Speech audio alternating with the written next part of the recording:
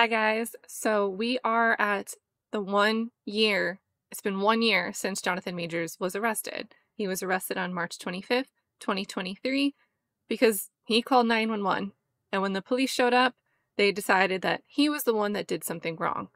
Um, if you're new to this, if you haven't been following along, pay attention to the live chat. We're going to go over a lot of details in this, but there's still only a fraction of what I would say is exonerating evidence towards Jonathan Majors and evidence that suggests that Grace Jabbari was actually the one that committed assault against Jonathan Majors on March 25th of 2023. In the stream, we're going to look at transcripts from Detective Mejia. He found probable cause to arrest Grace Jabbari for domestic assault. We are also going to look at some reports from different news outlets that talk about the prosecution giving a deal to Grace Jabbari in exchange for her testimony and cooperation against Jonathan Majors. Now, that's not unusual. Prosecutors do have discretion. They can decide not to bring a case against two conflicting parties. But the problem here, which we're going to see, the district attorney's office made this decision without investigating the veracity of Jonathan Majors' claims or what the investigative work of the NYPD found against Grace Jabbari, which means they just made a preference. They didn't have a basis for making that decision. We're also going to look at a run through of what happened on March, really March 24th into March 25th. To do this in an organized manner, I am going to rely on some of my own tweets. So sorry to do that, but it's going to keep things short and concise so we can get over to the Detective Mejia transcripts that you guys are all here for.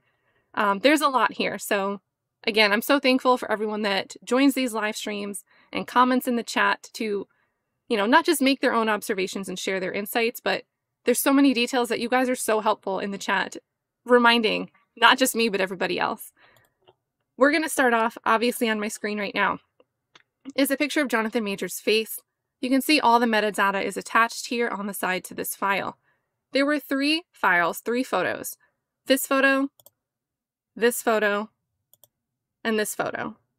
The first of these two pictures was taken at 2.02 and 2.03 a.m. on March 25th. So Jonathan Majors goes to a hotel room after all of this stuff happens, and he takes these pictures.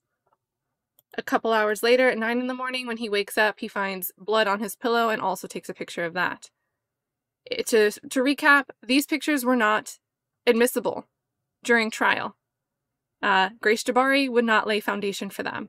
When we get to the transcripts of Detective Mejia, who relied on these pictures as part of his investigation, where he found probable cause to arrest Grace Jabbari for domestic assault. They, the defense tries to get these pictures in again through Detective Mejia. The court won't let it happen. So the jury does not see. The jury is not allowed to see. They do not know about this cut on his face. They do not know about this scratch on his arm. And Grace Jabbari made sure to volunteer in her testimony, but I didn't scratch him. I wonder why she had to volunteer that detail. And the jury does not know about this either. So that's important to know. Another thing that's important to know is background. In some of the pre-trial motions, so Priya Chaudhry submitted some letters to the district attorney's office. She also submitted a motion to dismiss. And in that, some of the complaints, some of the arguments that the defense team rose was, you know, Brady disclosure. The prosecutor is the government. The prosecutor, that's the state. They have obligations that a defense counsel doesn't. The state prosecutor, they're supposed to produce evidence through discovery to the defense so the defense can prepare a, a fair defense of their client because the client has certain rights that are enumerated to them in the Bill of the Rights of the Constitution of the United States. And Priya Chaudhry, Seth Zuckerman, their law firm while defending Jonathan Majors in their pretrial motion says, hey, you know, you failed to investigate and or turn over information in discovery in violation of federal Brady and Giglio requirements. You are obligated to do this and you do not. A lot of this involves 911 calls, NYPD investigative work, um, a copy of the iCard for Miss Jabbari's arrest. And there were two. There were two iCards because there were two reports made in two different precincts. All of that. And on top of it, the stuff that you did turn over to us, the defense complains. Whatever you did turn over, you haven't turned over this stuff, you haven't even investigated it, even though you're obligated to. But the stuff that you do turn over, you turn over in a mass of two terabytes of data. And again, this was a misdemeanor assault case. So why was there two terabytes of discovery material, but you don't even meet the basics that you're required to produce, investigate, and turn over to the defense? That was a big part of the pretrial debacle. Another thing that a lot of the public doesn't know.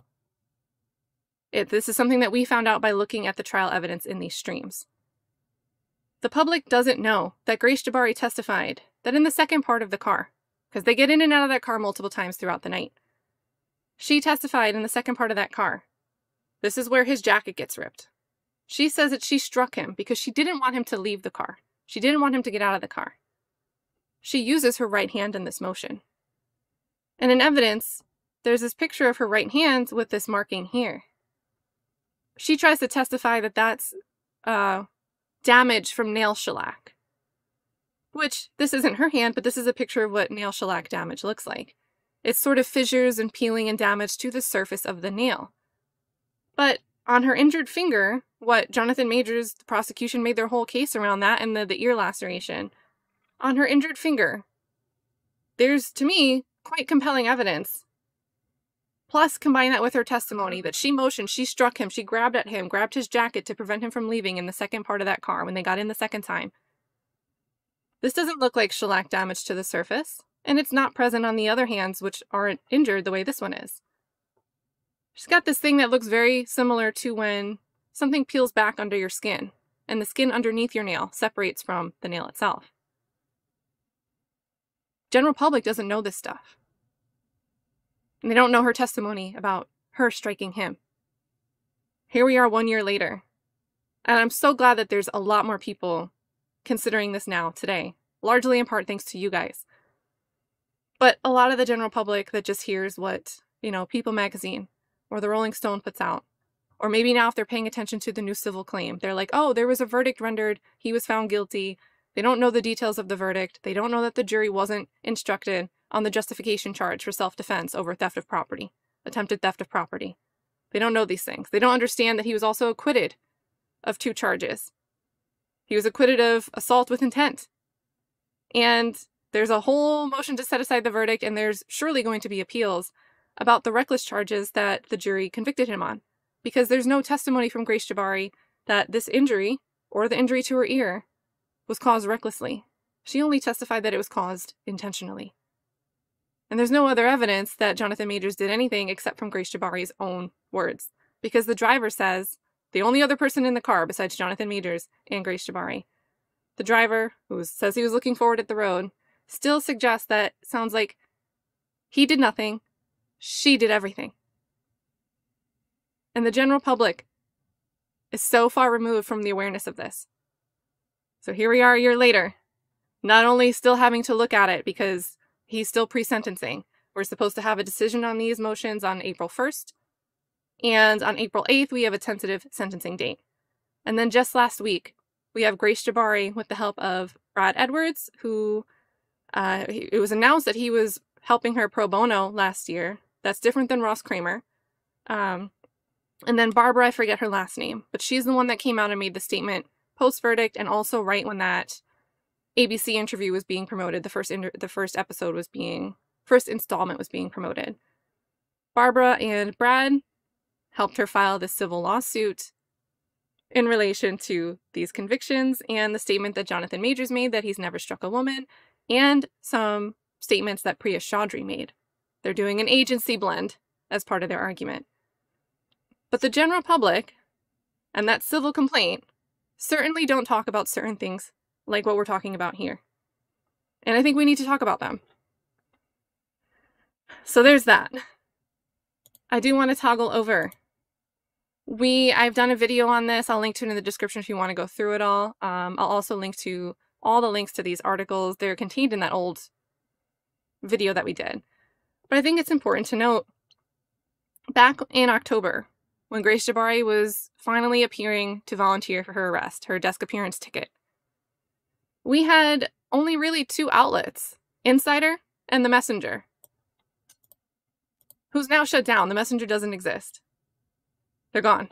I have their article archived, don't worry. Everywhere else was warring that, oh, we're going to talk about this 115 page motion in response to Jonathan Major's motion to dismiss. People, Rolling Stone, Variety, were going so far as saying, hey, even though outlets like The Messenger are reporting that Grace Jabbari is going to be arrested, which was true. They visited back to an old June report from the Manhattan District Attorney's Office relating to the first iCard. And they said, mm, even though the messenger is reporting this new thing, the district attorney's office a long time ago said that they weren't going to prosecute anyway. It's, she's not going to get arrested. It's not going to happen. It was really just Insider and the messenger, and then people like you guys in the live chat. They were talking about it. That was the extent of the coverage for this.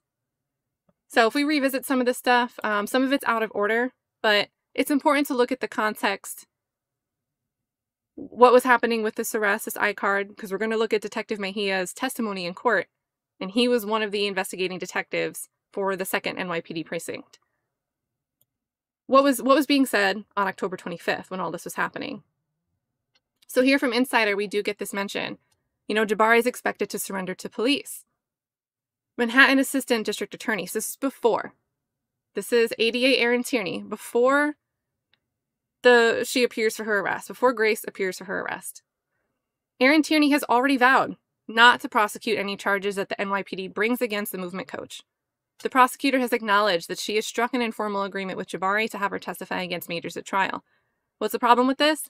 They're making this decision preemptively before doing their own investigation into what's actually being alleged and also investigated by the NYPD as part of the policing part of this.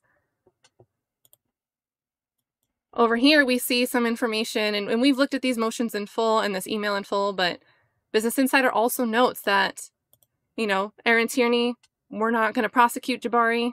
They put this quote We intend to decline to prosecute any charges brought by the NYPD against Grace Jabbari related to allegations made by Jonathan Majors regarding the incident that took place on March 23rd, 2023. So they have that date wrong, but whatever. Tierney wrote in the email. Now, we have some, we have an email from Chaudhry that she sent off in, I think it was the end of August, but she includes it, she references it in her September motion to dismiss. And we've gotten to look at that. Um, they don't elaborate here on why they plan to decline to prosecute. They don't really have a reason because they didn't wait to see what was presented to them to have an opportunity to investigate what was being presented to them. They preemptively made this decision and made a preference for Grace Jabbari. What's even more interesting is in this police complaint that Jonathan Majors files on June 21st. It's actually where we have the first mention of a history of abuse. And this first mention is not a history of abuse by Jonathan Majors against Grace Jabbari. This is a history of abuse being alleged by Jonathan Majors against Grace Jabbari, his accuser. And we do see this sort of addressed by the prosecutor later. They say that it's Darvo. They say that this is an attempt. This is an attempt of Jonathan Majors trying to Darvo, deny, attack, reverse victim offender roles against his victim, Grace Jabbari. But yet, if you study things about Darvo, one of the main complaints is how victims of abuse are afraid to come forward and speak against their their their partners, their intimate partners. Yet the district attorney decides to condemn Jonathan Majors for not coming forward immediately. Yes, he calls 911 the night, the morning that he finds girlfriend passed out on the bathroom slash closet floor, unre- uh, seemingly unresponsive. We'll get into that in more detail. He calls 911 that night. He mentions we can kind of see it in some of the body cam footage. She attacked me he's mentioning to some of these these injury photos. It's possible he even shows them the photos. We heard that uh, from Priya Chaudhry. He showed some of these photos to the police officers. But they don't believe him then. So when he tries to go to a police precinct, and an NYPD officer, one district believes him and says, hey, there's actually an, an active case, so go over to this other precinct and file it there because it's already open over there. He does that. Both precincts find probable cause against Grace Jabbari. And not just that, but these complaints involve a history of abuse. And they agree that there's enough cause to arrest Grace Jabbari for domestic assault. Two. But yet, the district attorney's office, under Alvin Bragg, and it was ADA Michael Perez and ADA Kelly Galloway, you know, they were the trial counsel, trial prosecution for this case that took place in December. They say it's Darvo. But he's the one that the police didn't believe. He's the one that was hesitant to make his report. And he was the first one to allege this pattern of abuse that we know of. So, Business Insider describes this in detail here.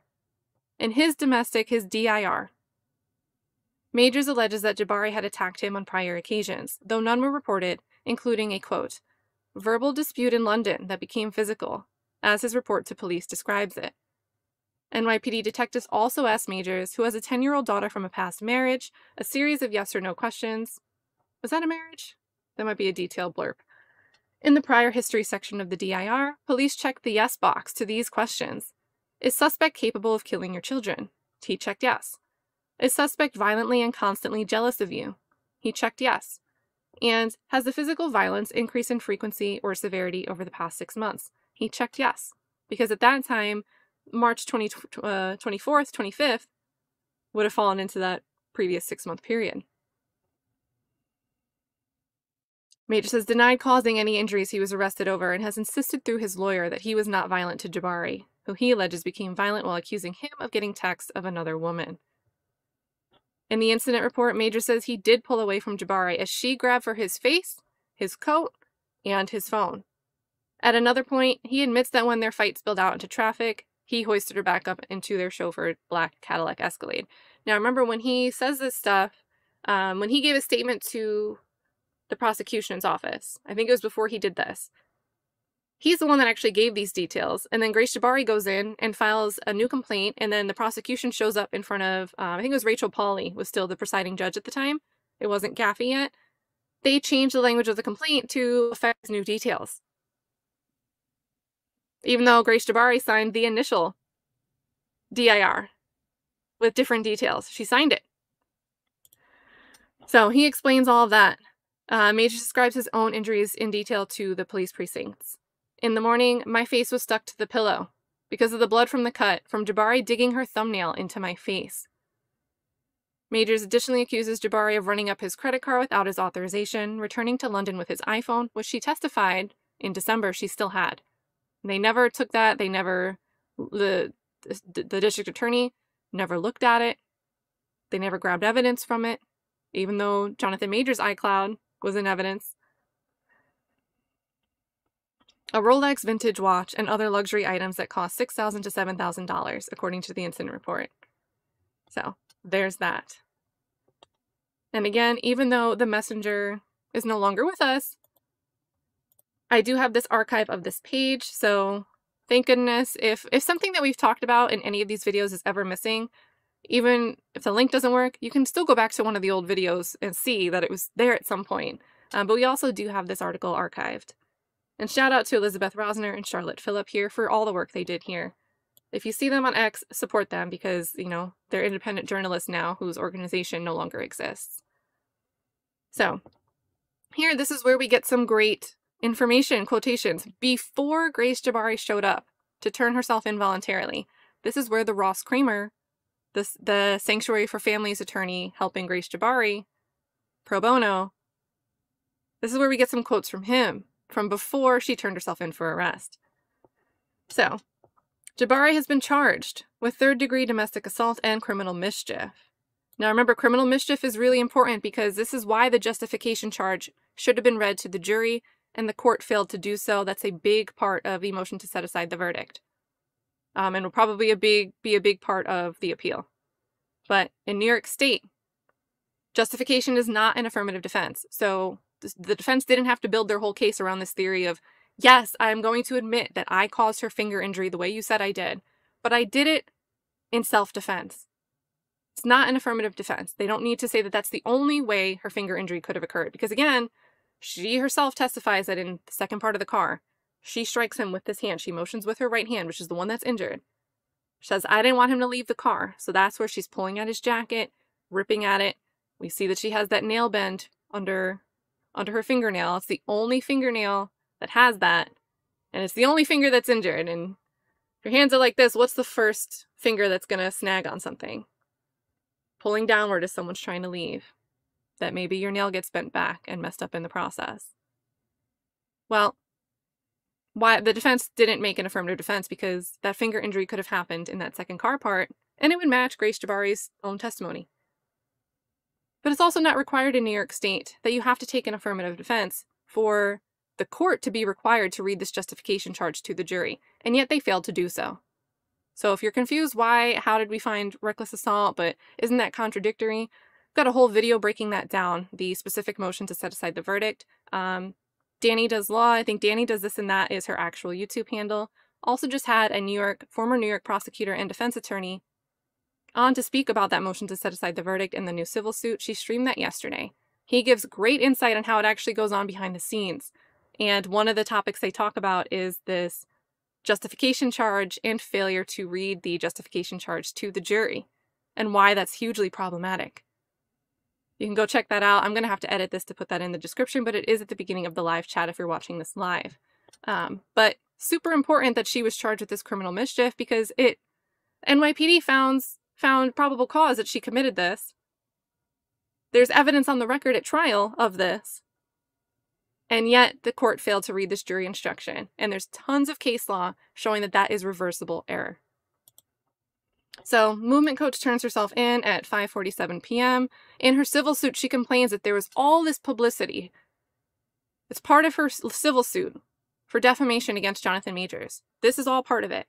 Everybody was outside. There was so much media showing up when I had to be arrested. That's in her civil suit. Ross Kramer uh, at the time says, It's very traumatizing to be in the spotlight when you did nothing to put yourself in the spotlight. Even though she's giggling in Lucero's body cam footage, and we hear that on the body cam audio through Priya Chaudhry, we don't get to hear the audio. The court doesn't get to hear it. The, the jury doesn't get to hear it.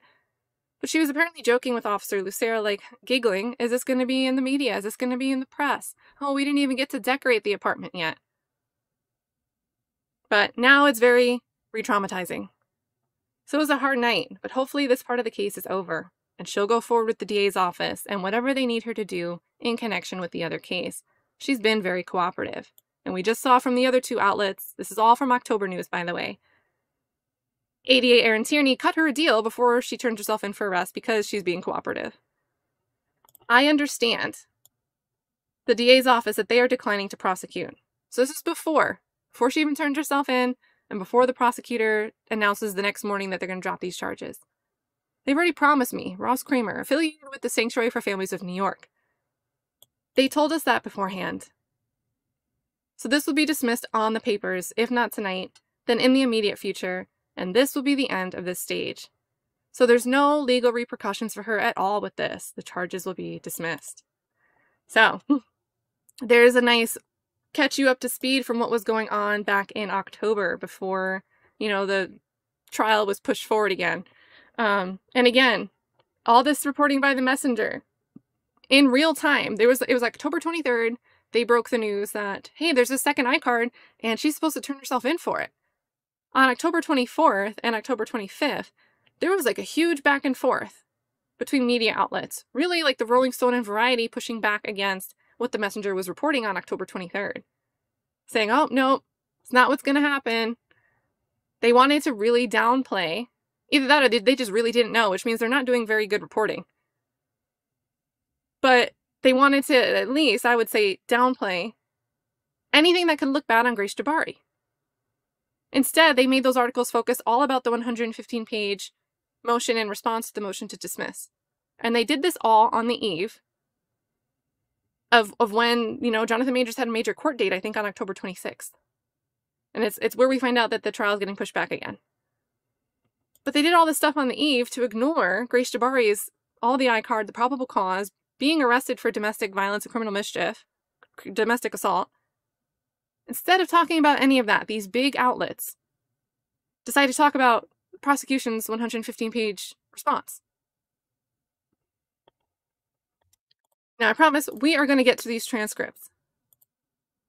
But let's run through let's run through some of the stuff that happened on the 24th and 25th. And I want to start, we've been talking a lot about, you know, car one, car two, car three, criminal mischief, the finger bending back. And even though we don't have this on the record, she says because Jonathan Majors did not testify. Let me make this bigger. In this ABC interview is where we get this first statement, although it's not on the record in court. But it's where Jonathan Majors tells us, you know what, she never actually had hold of my phone. She was trying to get it out of my hands. She says inside the car, you hit her in the face, yeah. twist her arm behind her back, fracture her middle finger. Yeah. That How? did not happen. What happened? Yeah. She we saw by the, the video. I held the phone. I pulled the phone back. She came on top of me, squeezed my. So I held the phone. She tried to get the phone, hold it back. She came on top of me face, slap me, squeeze my face, slap um, me. That, that's that's that's all I remember. So she ends up yeah. with a one-inch cut behind her ear, laceration. Yes, ma'am. Fractured finger. Yeah. How did those injuries come about? I, I wish to God I knew. Oh my God. So there's that. Now, this became, when we were watching this interview, a lot of it made sense because it's, you know, if he, all of this stuff, if, we, if you go back and watch Dani describes it when she was in court, but then also when we do the transcript reading of direct examination, when it's Galloway asking questions of Grace Jabbari, and we get that testimony. We sat in the chat, I was reading it, but in the chat, everyone's trying to figure out the mechanics of all the details she's describing. So she's had a bunch of drinks. Jonathan Major says, like, hey, that's really all I remember. And that kind of makes sense. You don't remember play by play of everything that happens. This isn't, there's like a Dragon Ball episode where um, it's one of the tournament fights. I think it's Master Roshi and and Goku. And the fight happens in like two seconds, and the crowd just sees a puff cloud. But the whole episode, the, the 30 minute episode, breaks down frame by frame of Goku and Master Roshi saying what happened in each split second of the fight. And they're like, yeah, so first I did this. And they show the freeze frame and they animate it. It's a great episode.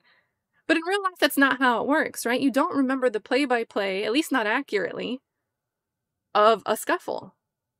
You just don't remember the specific details.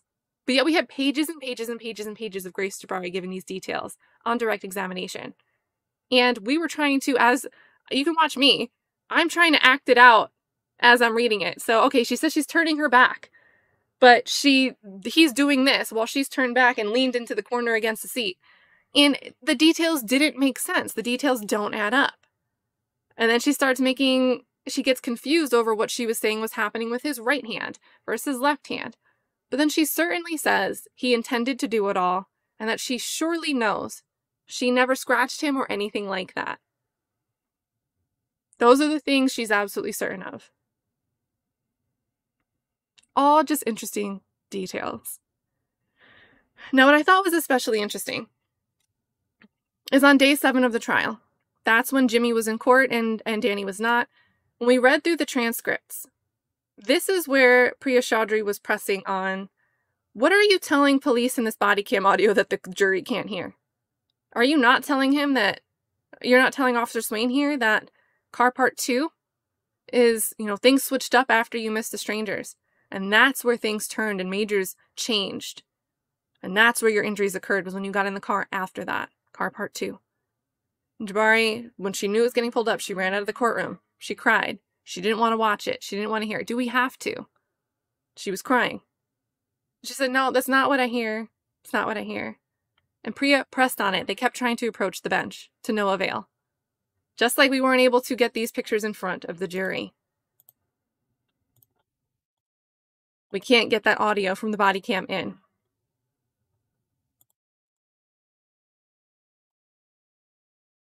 So she tries, Priya Chaudhry tries. Grace Jabbari doesn't lay the foundation, just like she won't lay foundation for those pictures. I don't know if it's because she has a family of attorneys and she kind of understands how how it works if you don't lay foundation for something to come in, especially when you already have a feeling of what the judge may or may not decide. I don't know. But what I thought was interesting is if we went back on 12-6, so day six of the trial, Grace Jabbari had ended testimony saying, I grabbed him like this, and they make her do it twice.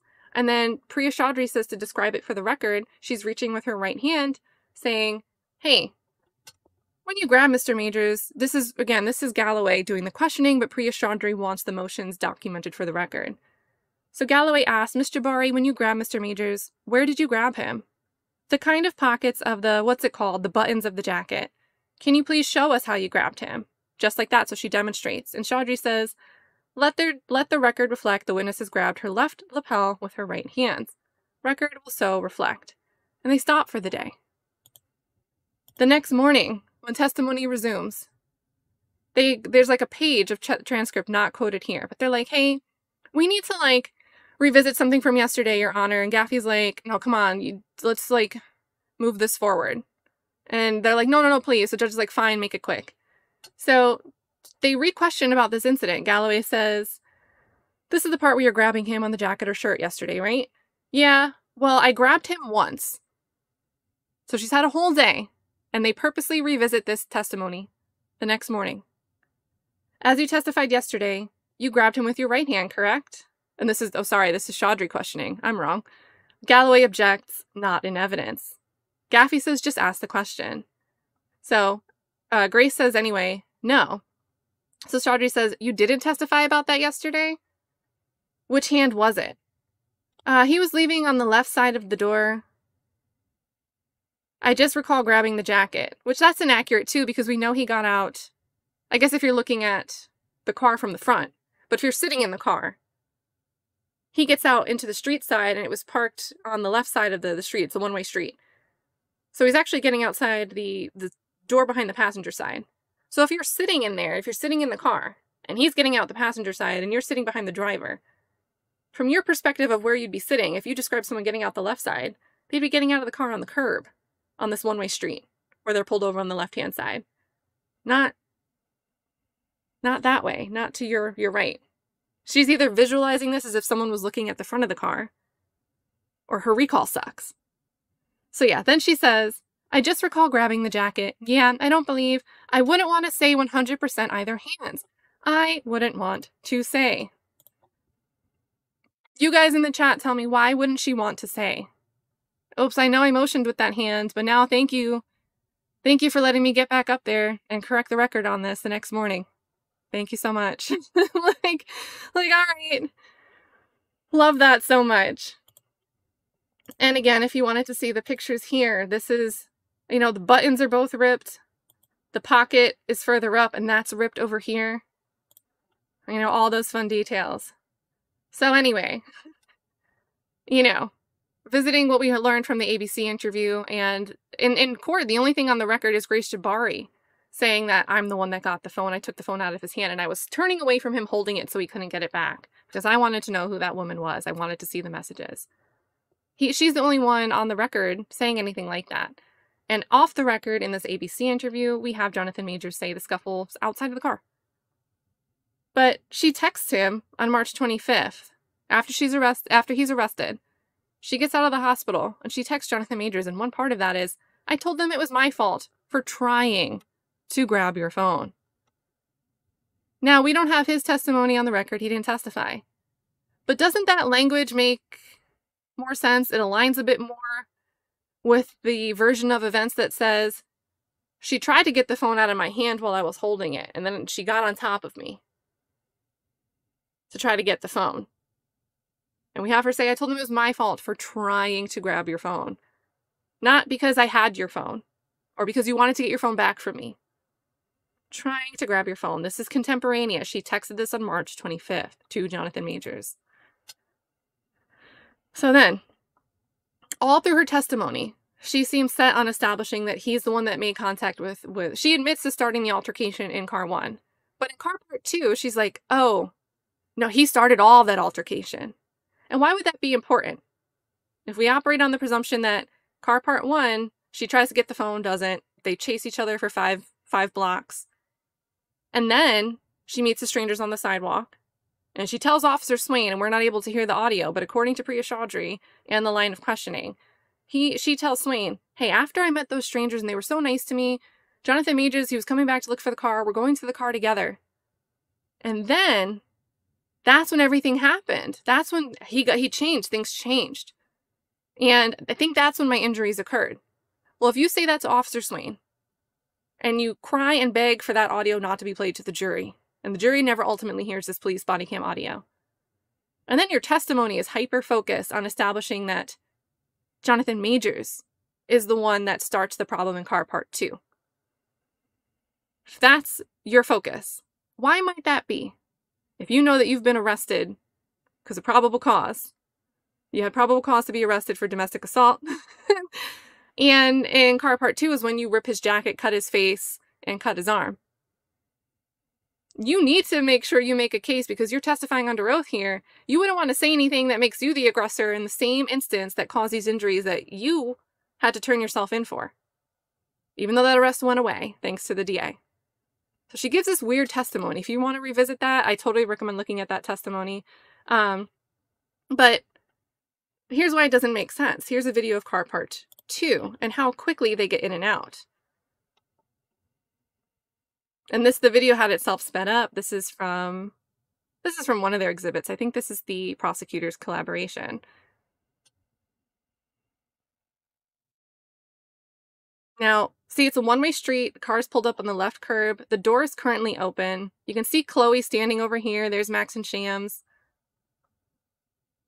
Now, they, they're about to, look, they're talking.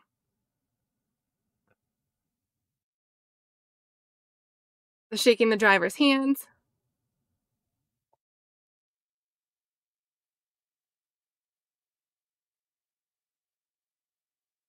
Now they're going to get into the car. And this is normal speed. They're not speeding this up anymore. So you can see her head on top of the car, like over here still, not quite inside. I know it's tiny, but there's multiple faces, heads sticking up over here. So they're still in front of the door, not quite in the car getting in from behind the past the driver's side. Now the door is moving a little bit. They're getting inside. Now the door is opening already. This is real time. This isn't sped up.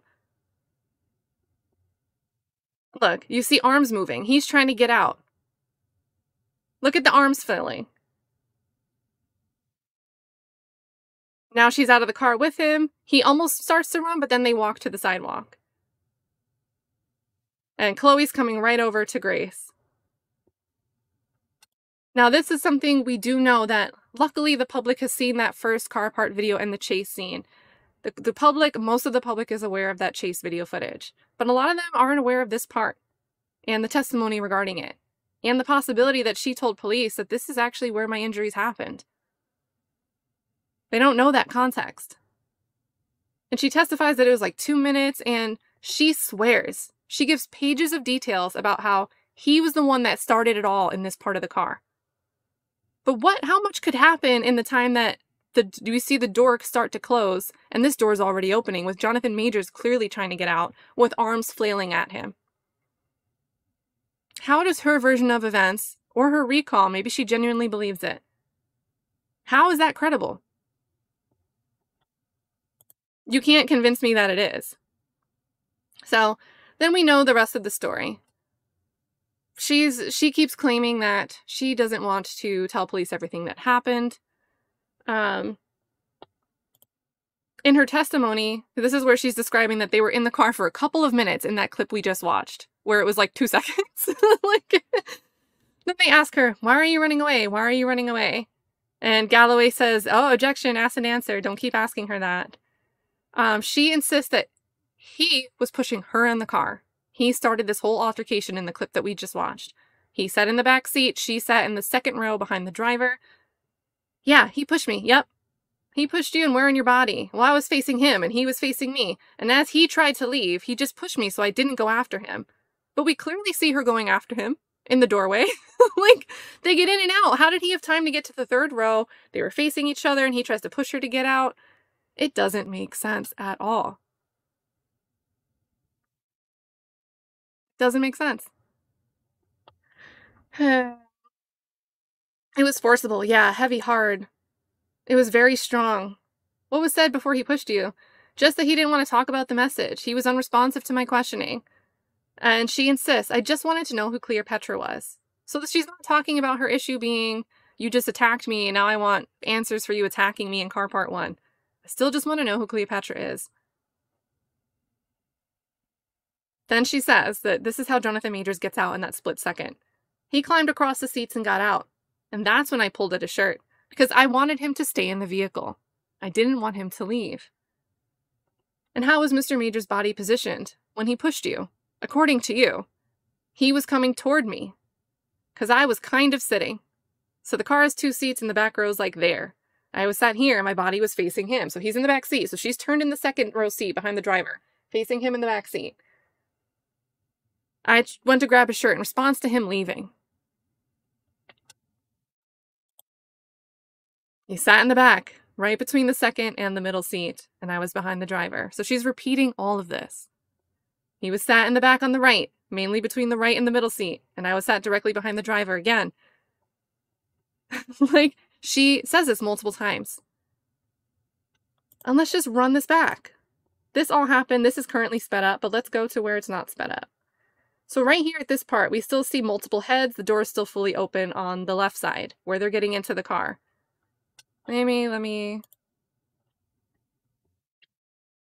Still there. They're all still standing there.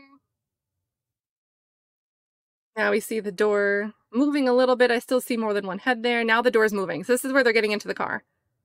Look at the door open already. That's how quickly it happened. When did he get into the what like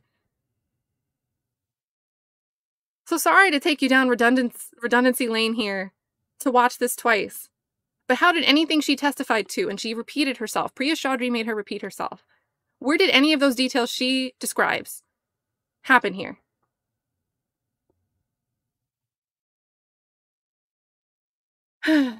so you know, like, she's got that bent finger. Now, remember, they get back together after this moment. They they're in front of the car, they're trying to talk it out. Chloe and the friends, they're like they have this party to go to, but they want to help this stranger that they found. The third time, Jonathan Majors just says, Hey, you can take the car. I just want to go to a hotel. And Grace Jabbari still complaining that the issue is the fidelity. So at that third time that you're at the car, this is the final time you see Jonathan Majors that night. Did you want Mr. Majors to leave you and go to a hotel by himself? No. I imagine I wanted him to stay and talk about what he had done. And that's the infidelity? Yes. So she uses this language that could be, uh oh. But nope, it's only the infidelity. That's what he'd done. That's what I wanted him to talk about. So we've we've kind of beat a dead horse with that finger injury there. But I want to talk about her testimony on the arrest before we get to Detective Mejia's testimony. So, Grace Jabbari obviously took the stand before Detective Mejia. Detective Mejia was a defense witness. Grace Jabbari actually saw in the press that there was an iCard out for her arrest, and she texted ADA Kelly Galloway directly. That was an interesting detail. Now, when she's asked, What's your understanding of the status of those charges? Grace Jabbari says they don't exist. So, thanks to all of the work of the district attorney's office, Grace Jabbari says it's my understanding that my arrest, those records, water under the bridge, doesn't exist as far as anybody knows. And the jury's not allowed to know about it either. So, interesting, interesting background stuff. The last thing I want to talk about is I want to reiterate, because this is one year later, Jonathan Majors is the one that calls the police. We're now past all the club partying stuff. If we fast forward to what happens when Grace Jabbari gets home, gets to the penthouse apartment, she didn't talk to Holly Blakey yet. She tried to call Jonathan Majors 32 times and she was sending out a bunch of sporadic text messages. The last one that we're aware of was the there's no note, just you knowing what happened. She sends these final three text messages. We don't get to see all the text messages. They're not in evidence. The jury doesn't get to see everything. But we do know that she sent three text messages to Jonathan Majors 7:47 a.m., 7:51 a.m., and 7:52 a.m. That 7:52 one is that there's no note, just you knowing what happened. That was at 7:52. The first time she tries to reach out to Blake, Holly Blakey, it's four minutes after that last text message, after a slew of text messages and 32 calls to Jonathan Majors going unanswered. Four minutes after that is when she first reaches out to Holly Blakey. She doesn't answer. Holly Blakey isn't picking up the phone. So Grace just, because there's no answer, sends a photo of her injuries and says she got really scrappy with Majors. And that's where, you know, we kind of get to this whole timeline of She's supposed to be passed out on the floor. Jonathan Majors is banging on the door. She's also texting Holly, but a couple minutes later, she's passed out unresponsive when Jonathan Majors gets access to the bathroom where she's laying. But she was just texting her friend. And you can watch the other videos to see how that goes. With that being said, let's get over to what we're all here for. Let's get over to Jonathan, uh, to Jonathan, to Detective Ronnie Mejia's testimony. Now, again, this was towards the end of the case, right before deliberations. I believe after him, it may have just been Jonathan Major's manager, Elon, Elon Rispoli, who testified, hey, I'm the one, I was on the phone with him when he went back to the penthouse and I heard him pounding on the door like this and he's banging on the witness stand.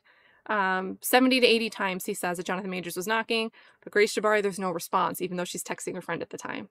So, lots of inconsistencies there that we're not going to clog this video up with. But if I haven't given you enough inconsistencies from Grace Jabbari so far in this video, just know there's a whole world of inconsistencies out there. And I think that's going to be very interesting for her civil suit all things considered. But let's let's jump into this. So he takes his oath, right? He's introducing himself. And then remember, since this is a defense witness, this is Seth Zuckerman. This is, you know, he's part of Jonathan Major's uh, defense team. This is direct examination by the defense because it's their own witness. So, good morning, detective. I'm going to ask you to come close to the microphone. He goes through his full name. He's employed by the NYPD. He's part of the 10th squad, the 10th precinct. And when did you first join the NYPD? So he's been here since 2010, July 6, 2010. He knows the exact date and everything. And can you tell us where you first started when you joined the NYPD in 2010? I started in the Bronx, the 4 to, 4 to 7 precinct foot patrol. How long were you there? So I did two years, then I moved to the 42nd precinct, South Bronx. Then I worked in the 4 to 5 plainclothes anti crime unit. Um, he was there for, he's an officer for seven years, and then he joined the narcotics unit Manhattan South, and that's how he got his detective shield. When did you become a detective? 2017. How long have you been a detective in the 10th precinct? I got to the 10th precinct 2020, so three years. In your time as a member of the NYPD, have you received any commendations or medals? Yes. Can you describe what those are? For gun arrests, cop of the year, just honorable work, merit awards. Can you explain what the difference is between a detective and a patrol officer? Patrol officers usually, usually respond to live calls, 911 jobs. Detectives, we do long term case investigations. Now, revisit some of the stuff that Officer Swain testified to. He was asked, like, hey, you mentioned being unsure of a timeline. And Officer Swain was like, well, yeah, because at some point we kind of realized that whatever happened, whatever we're being called for here to this penthouse apartment, didn't actually happen right here and now. Something that happened like the night before.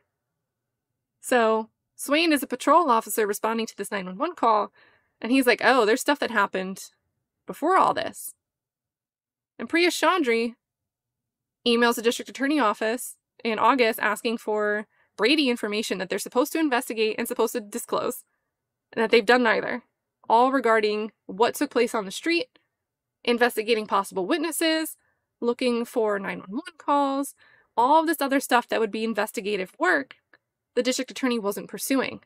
Even though they made a decision not to at the time of, of trial, they made the decision not to prosecute Grace Jabbari. But their own officers, the ones that they were relying on for the initial charges and the refiled charges, were like, Hey, we learned that there was way more that happened before we were called to this penthouse apartment. We don't know anything about that, though. Prosecution didn't think that was important. So, are there detectives and officers within the same precinct? Yes. So, in the 10th precinct, there's a detective squad and there's also patrol officers, right? Correct. Do you know an officer by the name of Brendan Swain? Sorry, I didn't read this. This is a blind read, so we might be going right into what I was talking about. Yes. Do you know an officer by the name of Eric Lucero? Yes. And do you know a sergeant by the name of Brian Hanson? Yes. They're all in March of 2023. They were members of the 10th Precinct, correct? Yes.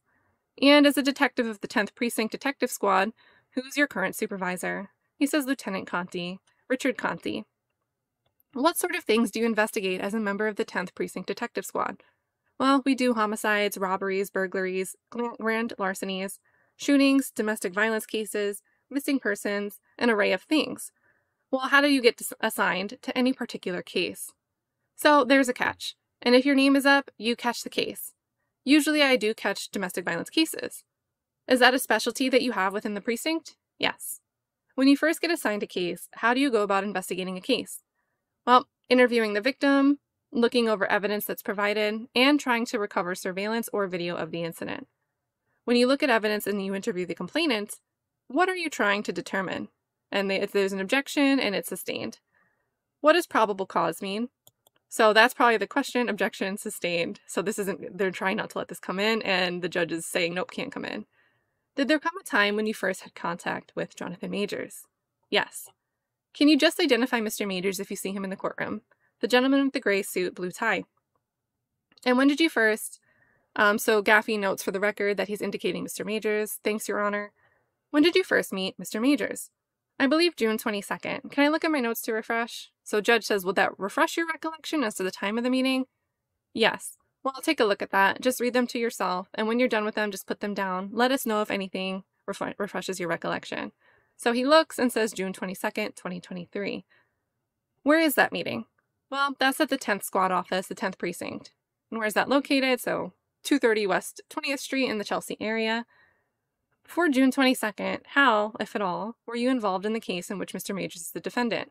Objection, objection, overruled. You can answer that. I was not involved. Tell us about your first meeting that you had. And this is important because that's saying, hey, you have, you had police work where Officer Swain was like, hey, there's like missing details here. We're just here to arrest because we're on patrol, but, uh, you know, we have that from Officer Swain's testimony. We had some concern, but that's not us to like look into. We have a separate unit for that. And now the defense is saying, well, here's our witness, and we're going to get some information from him about how that investigative detective work process works. And so Detective Mejia is letting us know here. This is such a small detail, but Detective Mejia is letting us know that none of this investigation occurred at the prompt of the state. The state never said, hey, NYPD, thanks for being our policing body with this arrest that you just made and that you're cloudy, it seems like something happened before because the alleged incident is not at the site that you responded to while you were on patrol. Can you go and take a look at this for us? Because the state is obligated to do this investigative work. They're obligated to do it and they're obligated to turn over what they find out in discovery to the defense. They did neither. And this is such an important two lines. It's probably why Perez is like objection, objection, objection. The state did not ask the policing body to investigate this any further. It never went to the detective squad of the 10th precinct where the case was active and open. This is a blind read for me. This is this is a huge tiny answer here. So tell us about the first meeting you had with Mr. Majors because it's only because Mr. Majors and Priya Chaudhry took this initiative that anyone even looked at this at all. How did it come to be that you had a meeting with Mr. Majors? Objection. No, you could answer that. Just succinctly. Don't get into detail. This is so, I'm telling you guys, if you've heard me say, I think the defense was blindsided. They were promised before trial actually gavel to gavel, they were promised that they would be able to talk about Grace Jabbari's arrest. And Gaffey said at that time, on the flip side, Galloway, since you're having an issue with them being able to talk about it, I'm telling them they could talk about it, but fine, you can ask, you know, the timing of this. You can ask questions about the timing of it and whatever else you want to do, but the defense is going to be able to ask questions about this arrest and get the arrest on the record. Well, during trial, we see that even though the state is allowed to poke holes and, and say it's, it's Darvo and, and all of this stuff, that Jonathan Majors was trying to do this against Grace Jabbari we have all these objections when it comes to either Grace being asked or Detective Mejia being asked. It's sustained right away. We don't really get much on the record at all. We know we don't get those pictures of the injuries. None of that. The jury doesn't know any of this. So I really think the defense was blindsided that they had the small, constrained scope that they were able to talk about. And the prosecution got a lot more leeway. Even though they're the ones that were supposed to prompt this investigation, this detective work in the first place. Very, very interesting. So they say, you know, he walked in, Jonathan Majors walks in to the 10th precinct to make a report. Objection, no, that's overruled. Okay, ask your next question. So Seth Zuckerman continues. Now, when you say walked in, what do you mean by that? He came in to make a report. And are you aware, only if you're aware, of whether or not been, there had been a prior report made? Objection sustained. And this is important because he tried, Jonathan Majors tried to go to another precinct first. They also found probable cause, but that's when they said, hey, you know what? It was uh, precinct three, third precinct. You know what? There's already an active case open somewhere else. So take this and bring it over to the 10th precinct and refile your complaint there. But before he's able to answer, Perez objects and court sustains the objection. Now, I do want to see Daisy, you are right in time. That's so funny because I went through some of the background information of how we got here, what happened on, you know, with the prosecutor deals, Ross Kramer, all of that. And I'm sure you already did your homework, so you're just in time for the new stuff. Um, and let's see. I know you guys have a lot of comments between yourselves. I don't want to go backwards and get confused, but I am very curious. Let's see. This is a good point. So Barbara says, it feels like Jonathan Majors and Priya didn't want to file charges because they really thought this case would be dismissed. After the DA and judge kept it going is when they finally said, hold on a minute. And that's a really, really good point. But instead, you've got people out there that say, hey, this is the type of thing. Grace Jabbari is clearly the victim, and any attempt by someone to say that she abused somebody, she assaulted somebody, is just Darvo. And I really don't think that that's a fair assertion. I think that's I think that's victim blame, blaming against Jonathan Majors, quite frankly. and then, hey, Lauren. So, Lauren, I think, did you, were you in court this day? You said you were in court this day, right? With, uh, Detective Mejia. I almost said Lucero, with Detective Mejia on the stand. So, Lauren Victoria Burke, I mean, correct me if I'm wrong, but I'm pretty sure you were there that day. And you're saying that his testimony was blocked because all of this is counter to the agenda of the assistant DAs in Bragg's office. I mean, I completely, completely agree. And it's just interesting now to see. Honestly, I think if I was sitting in the courtroom, this happens pretty fast, right? But being able to read it and read the specific language and see when the objections are being sustained, when the objections are being raised, for one, but also when they're being sustained, you know, being able to pause and read it and see specifically is, is very, very telling versus when the judge is a little bit more like, no, you can answer, but only succinctly. Don't say too much. so I wonder, guys, do you think Judge Gaffey is going to tell uh, Detective Mejia, or tell the jury, that Detective Mejia is going to tell us what really happened? Because he told the jury that Grace Jabbari was going to tell us what really happened. And I thought that was very, um, you know, juries put a lot of weight behind things that judges say. So if the judge is saying that a witness is going to tell you what really happened, it's it's implicitly saying that that witness is credible and they have knowledge of exactly what happened and what you need to hear and, and find facts using. Uh, but I guess we're not going to see him. I bet we won't see him tell the jury that about Detective Mejia here. So let's get back to June 22nd, 2023. So who was present on June 22nd? On June 22nd, it was his representative, his lawyer. Where was Mr. Majors? He was out of state. Did you speak with Mr. Majors? Yes. How did you speak with him? We had a video time face call. Is that something you normally do? So Perez objects as to relevance and then withdraws the objection. It's overruled. You could answer that. My supervisor told me this. No, is that something you normally do, not what your supervisor told you? No. So Zuckerman says, well, why did you do that? Well, it was brought to my attention this was an important case. Objection, sustained, that will be stricken. Thank you. Who, if anyone, did you speak with prior to speaking with Mr. Majors over FaceTime? Now, actually, let me preface here.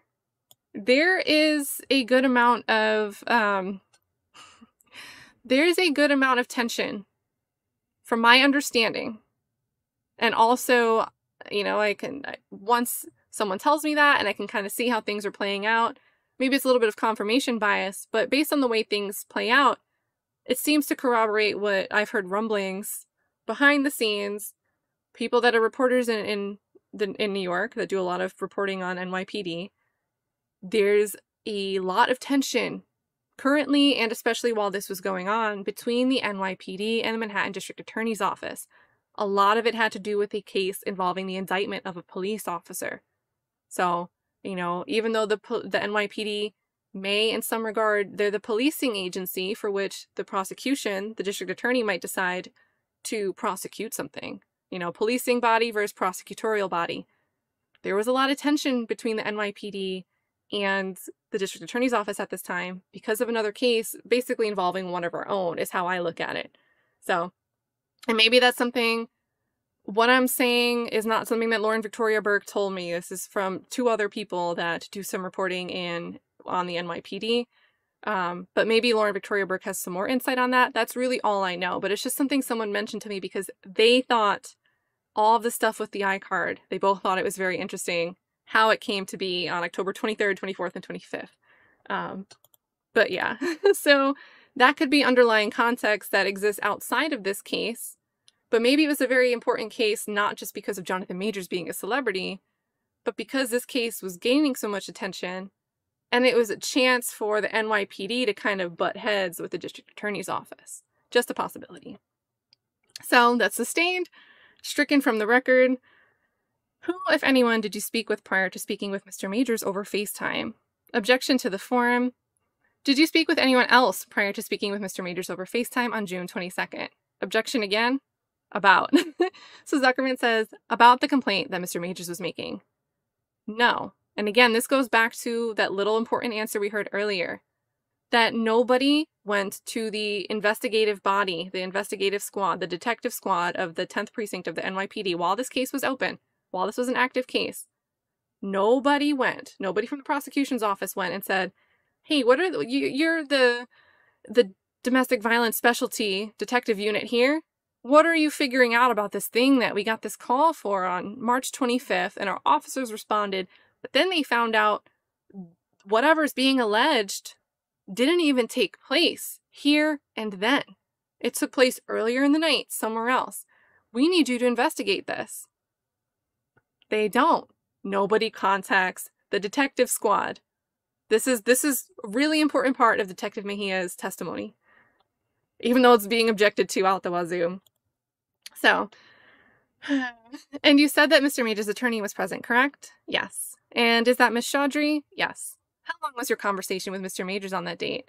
It was easily over an hour, maybe two hours, which means we're getting details, there's questions being asked. It's not just someone filing a complaint, submitting it, and walking out. Who was asking the questions? I was. And who was answering those questions? Objection. You can answer Mr. Majors. So, from this testimony, rather than it being big boss mama Priya Chaudhry walking in and, hey, you need to do this and this is what happened and whatever. This isn't like Priya Chaudhry walked in with the letter to the court that we read back in April.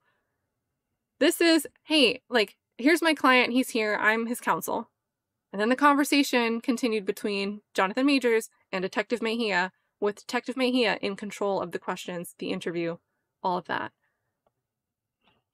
As a detective, what is the purpose of interviewing a complainant? Well, getting all the facts and finding out what happened on the incident that is being alleged. In addition to speaking with Mr. Majors, did you review any other evidence on that day? Objection sustained.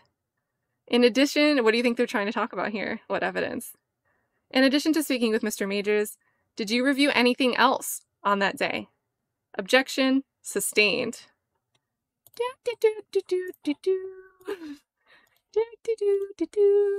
Well, not that picture. Maybe these, you know. Maybe. What else did you do on June 22nd with regard to the complaint that Mr. Majors was making? We went over the details of what he was reporting. This is the most vague answer, and Perez still objects. That answer will stand. That's overruled. Perez is probably sweaty during this line of questioning. And let's let's take it one step back. Let's let's step back. None of this can come in, right? But when you look at and the defense has the right, guys.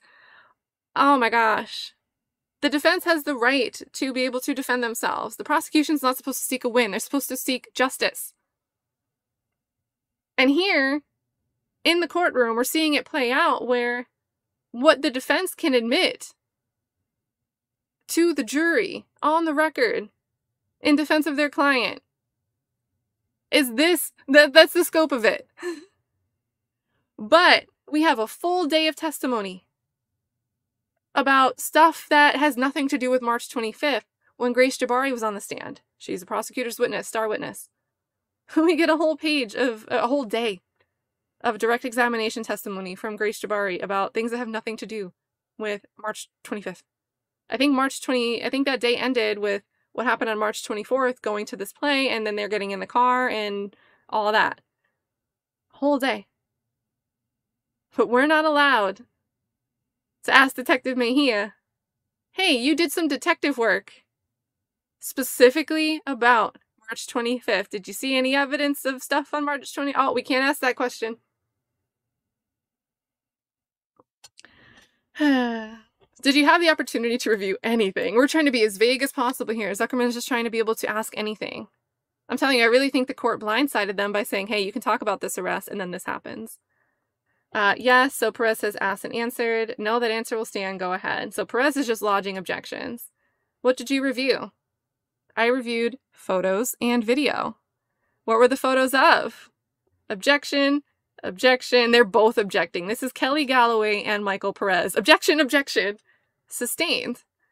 I'm going to show, and if you watched the Ryan Strick testimony, that's the DA's defense evidence analyst, it was Defense Exhibit 100, Defense Exhibit 101, and Defense Exhibit 102. Those are these three photos. Same three photos that they tried to have Jabbari lay foundation to. But she said, yeah, that's the side of his face, but I don't know if that's his shirt that he's wearing. So the judge is like, oh, you didn't lay enough foundation because Perez kept objecting to this photo coming in during her testimony. These are defense exhibits 100, 101, and 102. So they try to bring up defense exhibit 100 right now. Detective, do you recognize that photograph? And Perez says, Judge, uh, Gaffey says, show it to the, do you know what this is? Don't show the jury. Galloway and Perez are both like, please don't show the jury. Do not show the jury. Okay. Detective, do you recognize that? Yes. It's a clear yes. He knows what it is. What do you recognize it to be? It's photos of, Gaffey says first. No, no, Perez says objection. Sustained, sustained. If you could just put the photos face down, please. Ask your next question. Did the photographs that you reviewed have accompanying metadata? Now remember the jury sat through uh, Ryan Strick's testimony. Maybe they tuned it out, but they were arguing back and forth about how Ryan Strick's like, oh, the time zones, there was an issue with the time zone. Because his iCloud, Jonathan Major's iCloud, was Pacific Standard Time, but this happened in New York. These pictures were taken in like New York.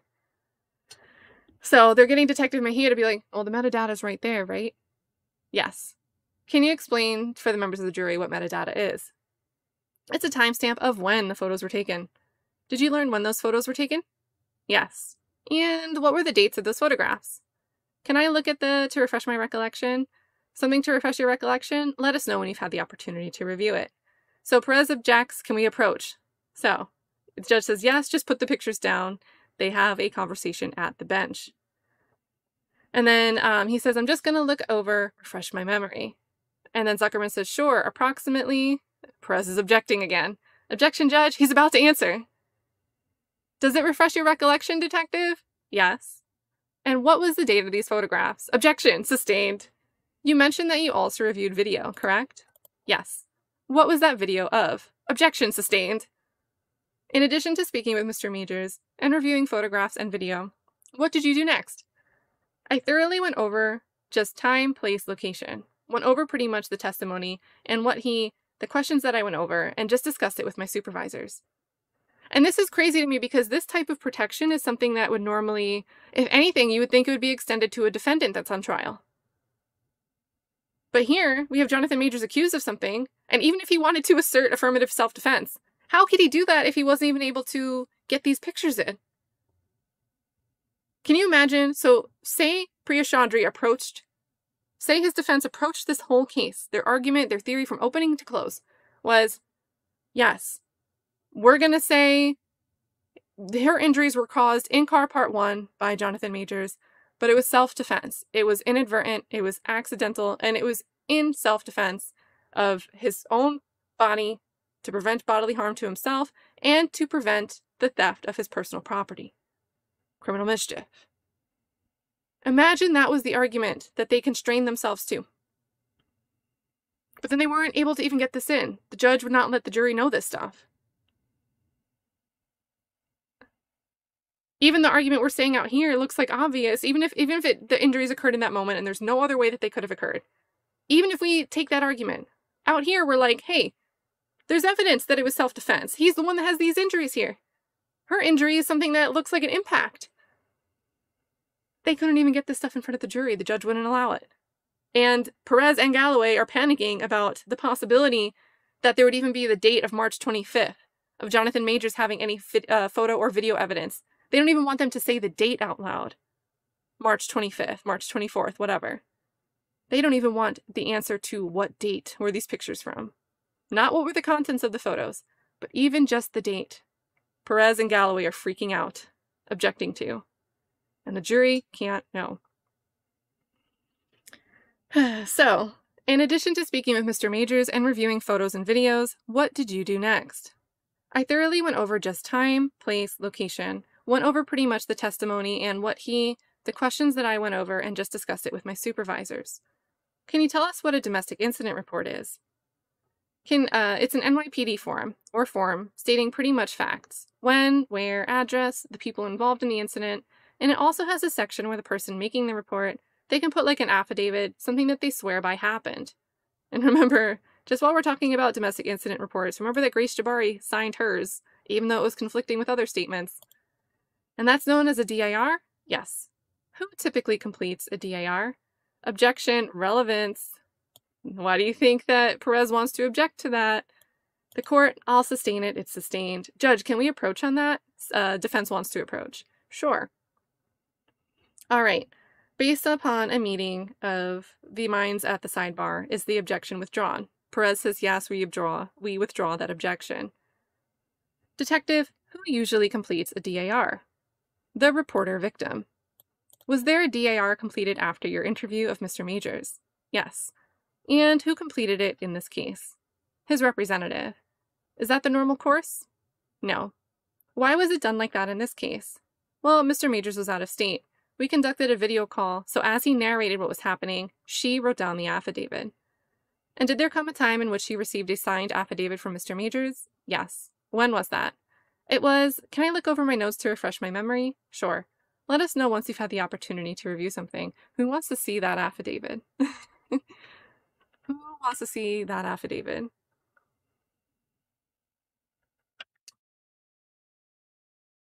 I wonder Would that be something that is subject to a records request?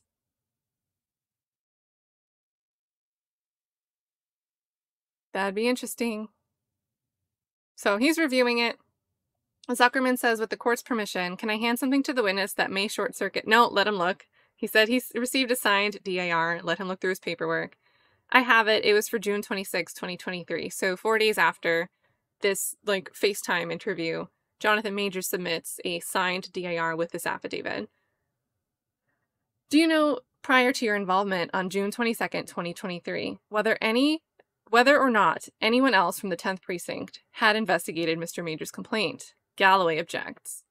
Judge says, Do you know? And Mejia says, No, he doesn't know. So, all right, that answer will stay. Or I guess the answer is is no. Not that he doesn't know, but that he doesn't know if anyone else. He's not aware that anyone else has been contacted to investigate. Following your interview of Mr. Majors and your review of the items that you mentioned, what did you do next?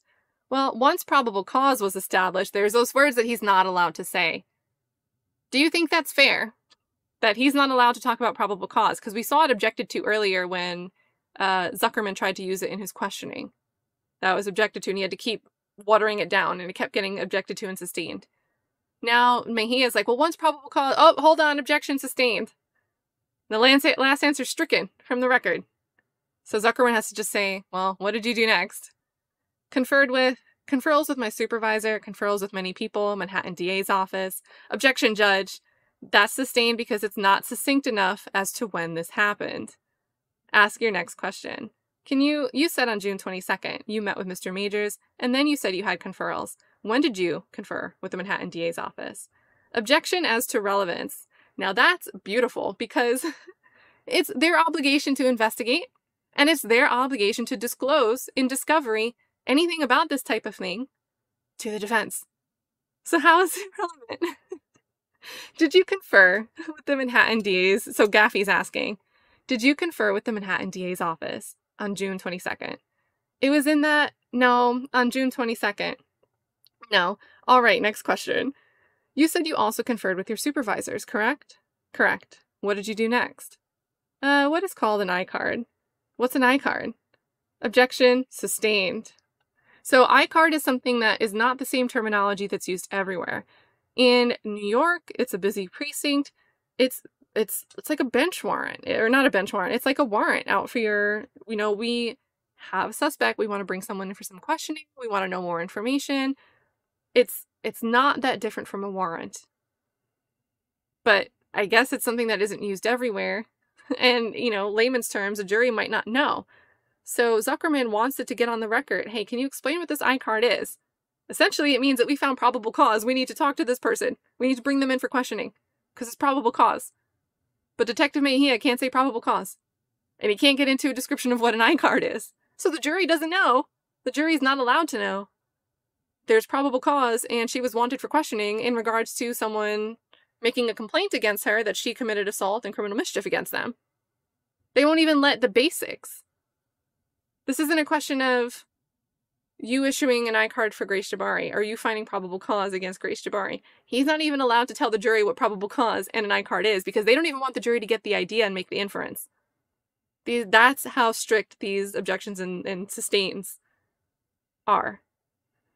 So Perez asked for it to be stricken. I don't think there was an answer. If there was an answer, it's stricken from the record. Detective, after June 22nd, 2023, did you review any additional materials related to Mr. Major's complaint? Um, there was video provided, things that would help in the case, strengthen the case, but nothing. There was no video on the scan drive. All we had was outside from the garage. So I think that's talking about the Blacklane vehicle. So they had footage from outside of the garage. But there's nothing on the scan drive from inside the vehicle, maybe. So let's see. Objection, ask your next question that's sustained. Zuckerman, when you reference the scan drive, did there come a time when you came into possession of a specific hard drive? Yes. Where was that from? We had a drive that was from the taxi or the car. Objection, Judge, that's sustained. This is all after June 22nd, correct? Yes. Gaffey's, all, Gaffey's like, all right, move on. This is getting to be very weird from the judge. Because he's sustaining this before... He's sustaining, like, knowing what the follow-up questions will be if the objection isn't sustained right now. That seems to be how Judge Gaffey's moving. So Zuckerman asks, Did you have the opportunity to review that drive? Yes. And did it have any videos from March 25th, 2023? Nothing. Now, following June 22nd, 2023, did you ever speak with an object uh, an individual by the name of Grace Jabbari? Objection. The relevant part is did you speak with her on June 22nd, 2023? So this is Ga this is Gaffey asking this question. So Perez objects. We don't get overruled or sustained. We just have Gaffey reworking the question on behalf of the defense in favor of the prosecution. So Gaffey asks, the relevant part is, did you speak with Mr. Bari on June 22nd? So the witness says no. Mejia says no. Zuckerman tries to say, did you reach out to her at a later time? Yes. When was that? It was within that investigation after the I-card was objection sustained, answers stricken. When was it that you reached out to Mr. Bari? I didn't reach out to Ms. Jabbari, but I reached out to her representative. So remember, Grace Jabbari finds out in the news that there's some I-card out for her. Um, and that's probably the news report stemming from the one issued by Precinct 3. There were two iCards, two precincts found probable cause. Uh, the district attorneys made a statement saying the f- first iCard was deactivated or would be deactivated. There was some spokesman for the district attorney's office that said that back in like June. So she sees the news. Jabbari sees the news. She texts Kelly Galloway directly, which is weird. And then Galloway was like, "Oh no, you gotta you gotta go through your representation. You can't don't just text me like this." So she has to go to Ross Kramer. So Jabbari goes over to her attorney, Ross Kramer. And this is where Detective Mejia is saying, I didn't reach out to Miss Jabbari, but I reached out to her represent- representative. When was that? I have to look through my notes. So he looks at the notes and says August 14th, 2023. Now, after June 22, 2023, did you ever have contact with Mr. Majors again? After which time? After June 22nd. Did you ever speak with Mr. Majors again? Yes. When was that? He came in, he came to the precinct in person, and we re interviewed him and he filled out the DIR himself. This was now a second DIR? It was the affidavit part that just to see him do it in person.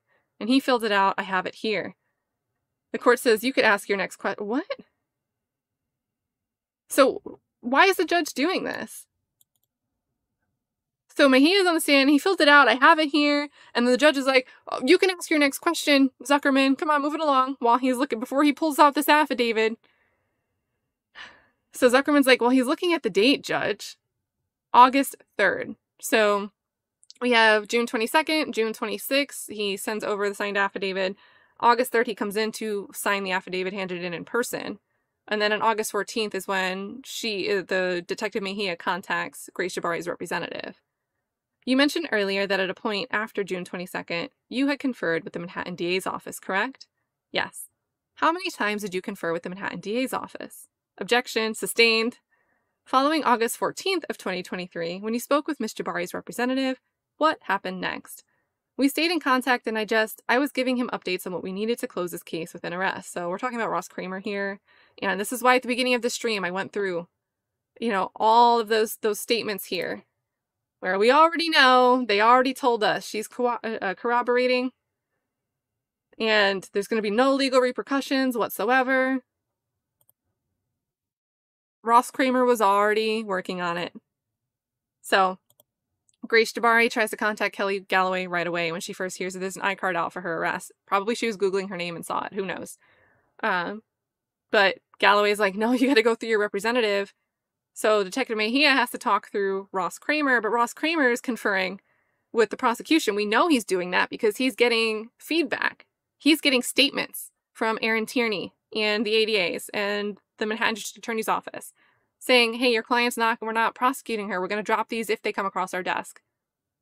All while the, the, the detective is trying to do an investigation. It's already being told to Grace Jabbari's representative, Ross Kramer. We're not going to do anything anyway. That's problematic because it shows preference for deciding to bring charges against one party and not the other without actually having a basis. Hold on, and I see Artemis is so, hey Katt, hey y'all, just joined just in time for another episode of Trash Judge in My Pocket. That's a good way to put it. Cause he keeps he keeps like Judge Gaffey's really jumping in here. So when Grace Jabbari's on the stand, we get, hey jury, Grace Jabbari's gonna tell you what really happened. And when Detective Mejia is on the stand, and he's the only one that did detective work regarding, you know, probable cause, investigating any reports by the alleged victim, Jonathan Majors. Nope, can't talk. Can't talk about any of it. You can't even say a date. And I'm gonna ask questions and tell the defense, like, move along. Don't let him look at things to refresh his recollection on dates. Ask another question. This is kind of crazy. So, he's talking about here. He's giving updates back and forth with Ross Kramer. Um, what we needed to close this case uh, with an arrest. What's a DAT? A DAT is a ticket that we give to a person to come into court instead of being brought in in person for arraignment. So basically, remove this big public show of someone being arrested. It's just a desk appearance ticket, which has way different optics than someone's arrested and done with a perp walk, dragged into court, dragged back out for an arraignment. Yeah. Does it stand for desk appearance ticket? Correct. And are there any NYPD protocols regarding issuing DATs in domestic violence cases? Objection sustained. Oh, detective, have you ever given a desk appearance ticket in a domestic violence case? Because remember, this is domestic assault and criminal mischief. That's what she has to appear for. That's what Grace Jabbari has to appear for. Detective, have you ever given a DAT, a domestic uh, desk appearance ticket, in a domestic violence case? Objection sustained. What's the moving hands here that went from the ordinary procedure, especially in a domestic violence case? The ordinary procedure where someone would would be brought in in person for an arraignment. Instead of that, we're just going to give a desk appearance ticket. What was what was the catalyst here?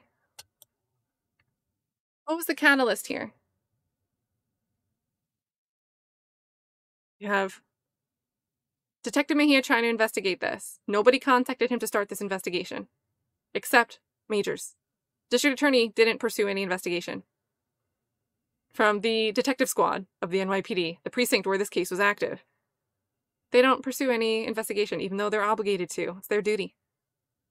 Jonathan Majors has to bring it forward. Then, even though Grace Jabbari hears about this and tries to go directly to Kelly Galloway, Kelly Galloway's like, nope, you gotta go to your representative. Who's Ross Kramer, he's on the board or whatever of the Sanctuary for Families of New York, representing Grace Jabbari. At Sanctuary for Families, they lobby, they've donated money to Alvin Bragg. Ross Kramer is now corresponding on behalf of his, his representative. He's representing Grace Jabbari pro bono. He was appointed to her by Sanctuary for Families of New York. He's now conferring with the Manhattan District Attorney's Office, who failed to go to this, de- this detective squad and say, hey, can you look into this? It has to be brought to their attention. And Ross Kramer is doing all the messaging work back and forth. So, District Attorney's Office is here, Detective Squad is here, Ross Kramer's right in the middle of it, playing the messenger.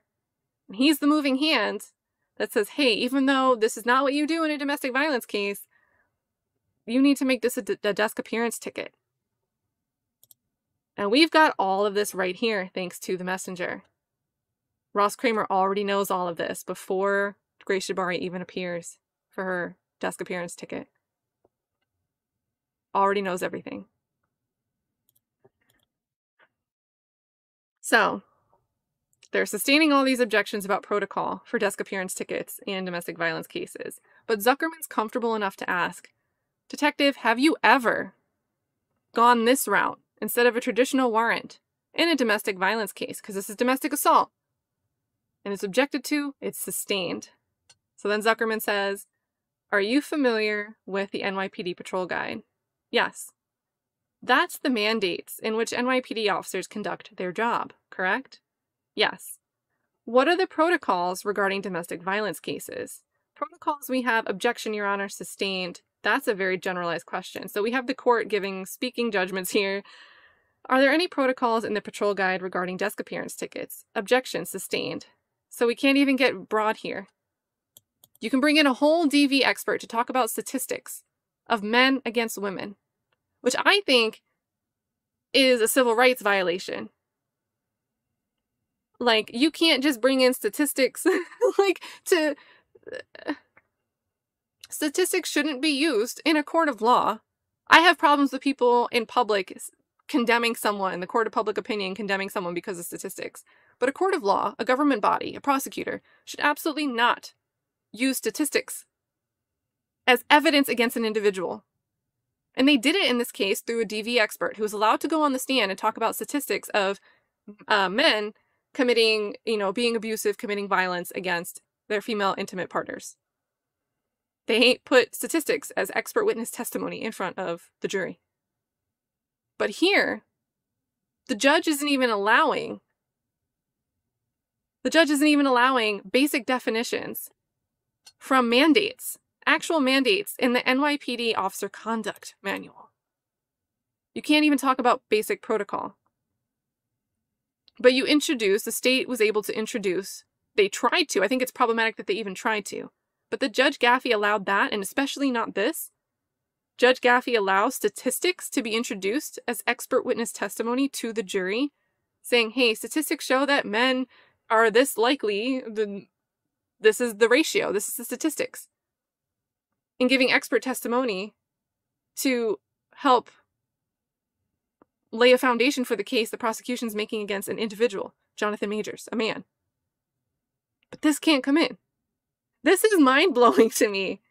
And I'm telling you, this is a blind read. So, like,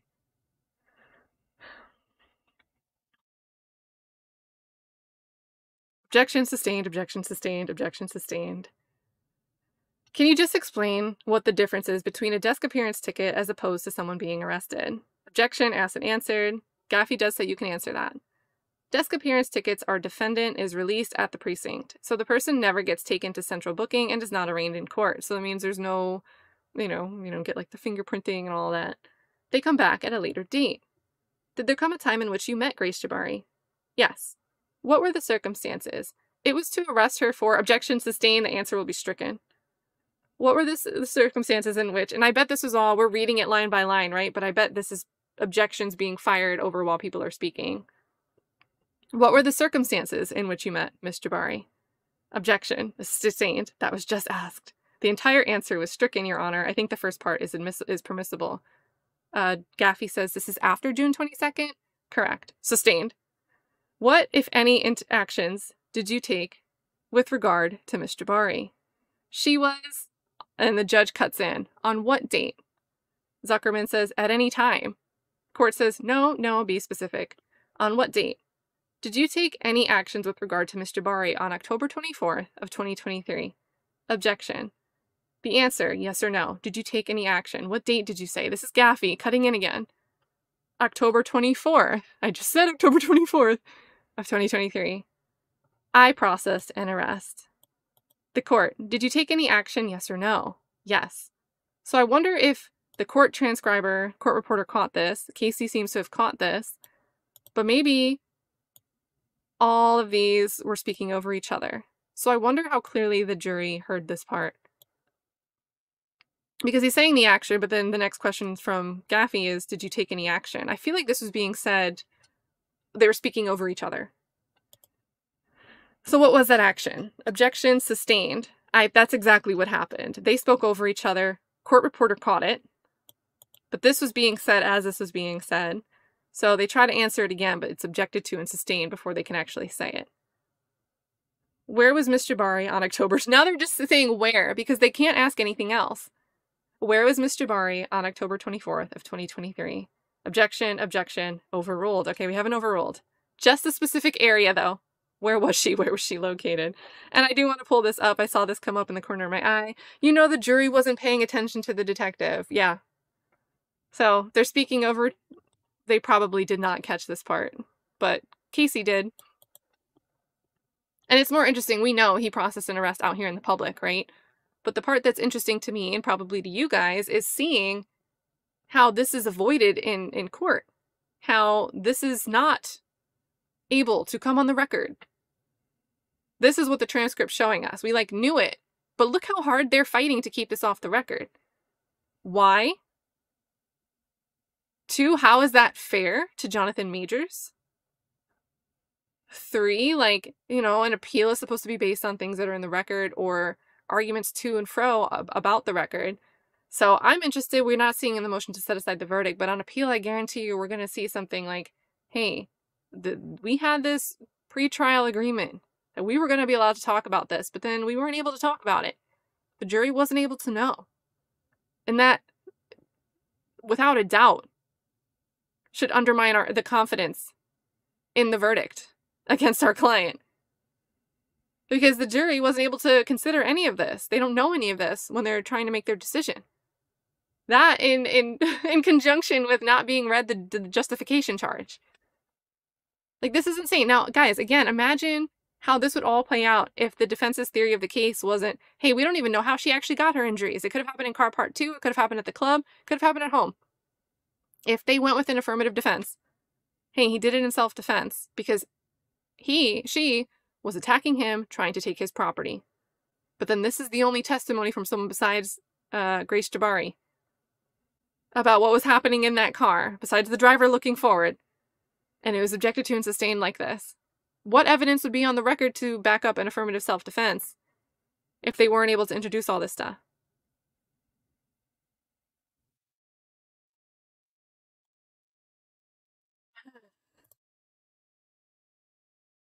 Just a mess. So now they have to ask these vague questions. Where was Ms. Jabbari on October 24th, 2023? Objection, objection, overruled. Just the specific area. Where she was, where was she located? It was at my office, and she was there at the office, the 10th precinct. Did you provide Ms. Jabbari with anything? This is the most vague question ever, but it's objected to and it's sustained. What happened at your office on October 24th? Objection sustained. Did you see Ms. Jabbari again after October 24th of 2023? Objection as to relevance sustained. Zuckerman says, Your Honor, may we briefly approach? Sure. So they have a sidebar at the bench. Detective, prior to your involvement in the investigation, beginning on June 22, 2023, are you aware whether or not the 10th Precinct Detective Squad was involved in any investigation, any investigation about March 25th, 2023? No. So he's part of the detective squad. He's part of the specialty branch for DV investigations. He's not aware of any any other no other involvement investigating what happened on March 25th. The 10th Precinct Squad was not involved previously. Asked and answered. It's all right, you can answer that. Was not involved. Have you ever met with ADA's Perez or Galloway? I met with them recently this week. When was that? Monday, and I believe Mejia testified on Wednesday. Maybe it was Tuesday. Prior to that, have you ever met with them about this case? No. Thank you, Detective. I have nothing further. So Galloway says, One moment, briefly, Your Honor. Sure. Then she gets up for cross examination. Good afternoon, Detective. I have just a few clarifying questions. So, what was the date of the incident that you were investigating?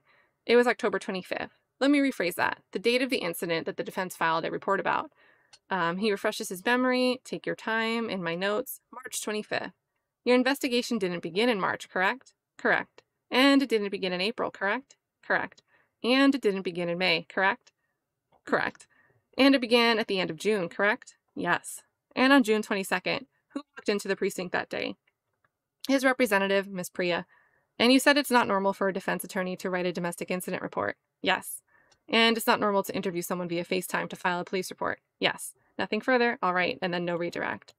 Now, this actually changes my mind. I I, I think it was stupid for Galloway to even reiterate this, but all of these questions, your investigation didn't begin in March. She's trying to go with the argument that this is this is Darvo. This is some type of litigation abuse. False false reports. It's a power play. Jonathan Majors against his victim, right? That's what she's going at with this cross-examination. But what's the problem here? It's it's her job to bring to ask this detective squad to do an investigation. And they didn't do that. But yet they agreed not to prosecute Grace Jabbari anyway. So what was their reason for deciding to prosecute Jonathan Majors and not Grace Jabbari, if not pure preferential decision? Because she said, we, well, no one came to you in March, no one came to you in April, no one came in May. Well, of course, Priya Chaudhry's going to walk up in there. Because unlike any other Jane or John Doe, who may be indigent and not able to afford an attorney that can dedicate time and resources, once they see that this case is going to move forward anyway, after Priya Chaudhry wrote this April 18th letter to the court, and probably got a response in mid May, and then that's when the language of the complaints is changed, and they're doubling down on most of the charges, except they dropped the one. Then that's the timeline of this, right? That's when Priya Chaudhry actually says, "Oh my God, they're not, they're not gonna. This is crazy." She did this to him, and Jonathan maybe is saying, "I don't want to file a police report. I don't want to do all that against someone. I still loved Grace. I wouldn't want to do that to an intimate partner, which a DV expert would tell you is normal behavior, right? But somehow, when it plays out this way, because the prosecutor's office doesn't do their job to investigate something, it's a problem. And it's supposed to look bad on the person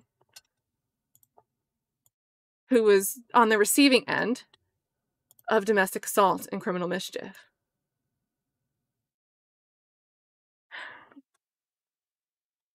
So, with that being said, if you want to read this transcript on your own, it is in the transcription folder. The link to that whole folder is in the description of this video.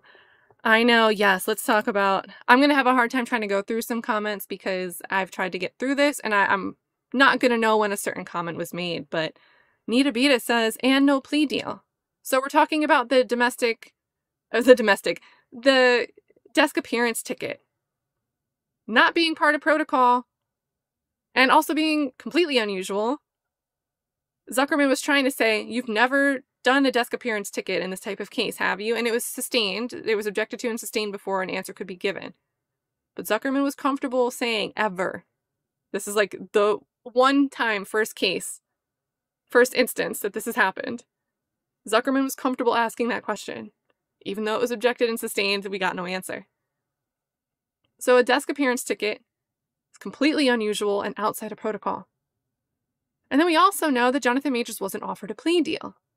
Even though with this type of charge, first time offense, especially in New York, especially in the Manhattan County District Attorney's Office, plea deals very common for this type of charge. But here, what was the reason that Jonathan Majors wasn't offered one? Why are we having Kelly Grace Jabbari go through your your representative and then have him play messenger with us? And he's working it out with the district attorney's office how to get this arrest closed out. Oh, don't make it public, make it a desk appearance ticket. And we have Grace Jabbari complain that, oh, there was this big press showing up where I had to go to my, my precinct. And all this this stuff. Like when you think about it, how is this fair to the defendant? And the defendant is the one that has the rights here, not the state, not the witnesses. Although technically Grace Jabbari does have the right to invoke the Fifth Amendment against self uh, you know, self-incrimination, but we don't see that elicited in this trial. It was protected before it even had to be elicited. Because Judge Gaffey wouldn't even let us ask vague questions about a date.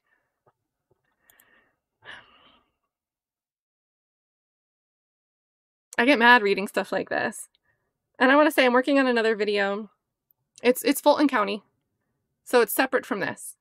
But what I thought was really interesting is it's an ACLU case that's coming forward against um, the district attorney's office, specifically what Fani Willis is in charge of, her diversion unit, and what she's required to do. But uh, a nonprofit called Barred Business is bringing forth a lawsuit using ACLU research, and it's being written by ACLU attorneys.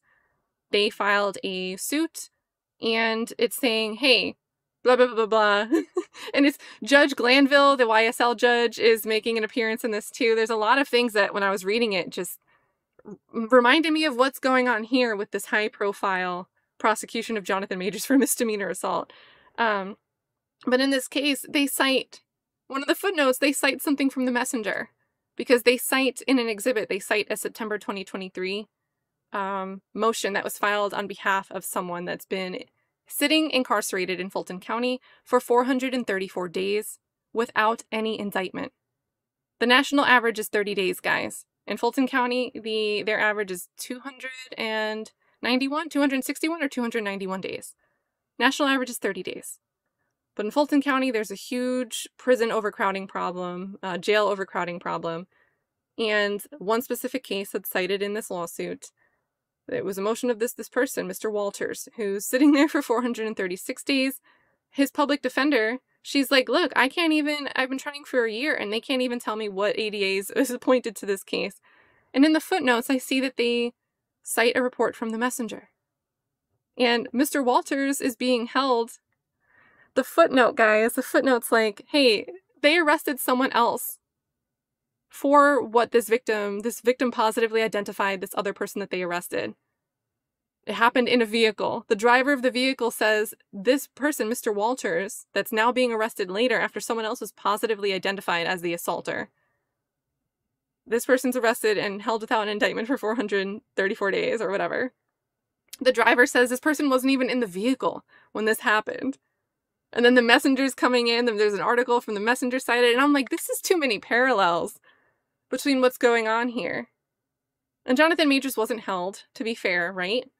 But we did see in the motion to dismiss, Priya Chaudhry put forth a lot of arguments about right to a speedy trial. She counted the days. This is exceeding the 90 day limit limitation. And then we find out that Manhattan District Attorney's Office, even though they're not offering a plea deal, they're not trying to investigate anything either. They're going for a win. And they want this to go forward to trial. Their goal isn't to keep him behind bars indefinitely. Because the problem with what the ACLU is saying against the Fulton County District Attorney's Office is even though they have a standard to notify a judge in writing within 45 days, they have no records of doing this, so they're not actually following this process. Within two business days of 45 days passing, they have to send, you know, something in writing to a chief judge and say, hey, we still have someone held with no indictment. You need to have a bond hearing for this person. As it's code in Georgia. But here, the issue wasn't keeping someone incarcerated, locked up, waiting for an indictment. They slapped an indictment on Jonathan Majors. Then they doubled down and issued a second one. And their goal wasn't just to hold someone indefinitely and try to secure an indictment. They wanted to get a conviction, which means they wanted to get a win. And a prosecutor should never do that. And I just saw these parallels. I saw the messenger cited, and now we know. Rest in peace to the messenger. But what we've got, what we've got out here to find out information, we have to go pull out court transcripts that are at the cheapest $4.70 a page. If you need them turned around faster, I think Casey hustled me a little bit. She's like, I'm going on vacation. And shout out to her because I think she did a great job transcribing this stuff. Um, but she's like, I'm about to go on vacation. So I paid the the faster turnaround price per page for this and the closing statements and uh from the prosecutor and the defense. So, but shout out to her, whatever. Um, she hustled me a little bit. Shout out to her. But if we don't do that, if we don't have this chat, if we don't have like, you know, Artemis, Arbico, Daisy, uh, Barbara, or Tracker, we're going by both names here. Earl, you guys have been in here not just listening to learn more, but I also see you guys speaking on these things, which means you're helping kind of getting the information out there. But news media and press like The Messenger, who were the few and far in between that are looking at important stuff like this, they're the ones that now have this big, we're no longer in existence message. We don't see that for the Rolling Stone. We don't see that for Variety.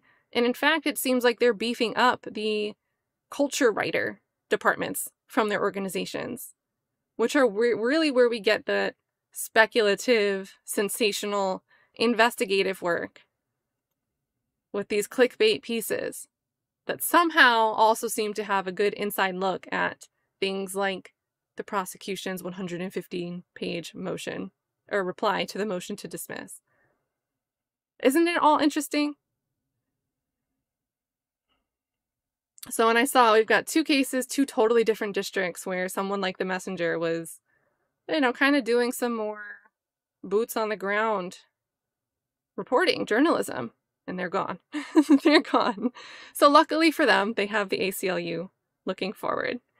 Um, but we obviously don't have that type of involvement here with Jonathan Majors. In fact, we have a nonprofit who seems to lobby for, we know that they've contributed to DA Alvin Bragg. They're helping the prosecution side to secure a win against someone that was accused of something that I say all evidence exonerates him of. But yeah, I'm going to go with Barbara on that one and say they wanted to fundraise off his conviction and secure the elections. And wait, just like Tracker on CVS? Hold on, I don't know what you mean by that. Um, but yeah, so you guys have so many comments here. You guys are saying they hate Priya. The prosecution hates Priya. I'm sure they do. Artemis says the DA had no interest in actual justice. Zero. They wanted a win. And then yeah, he didn't want to be seen as a victim either. And this is such a good point because they have a whole expert come in. They have a whole expert come in to explain how victimhood works, right? To, to succinctly say that in like one sentence. This expert gets on the stand to speak generalisms about statistics and how victims might not act the way you would expect them to. Why wouldn't someone report right away? Well, here's why. But when we see that exemplified by the man, the partner with a penis, the person, the party with the penis, we don't get to have that introduced in front of a jury. We get statistics that are men are bad. This is a statistic that shows that. Even though these statistics have nothing to do with the actual facts of this case that I'm giving expert testimony for. This is how victims behave, except when it's a man behaving that way. Then there's a different explanation. They don't get the same explanation. Isn't that crazy? I think that's crazy.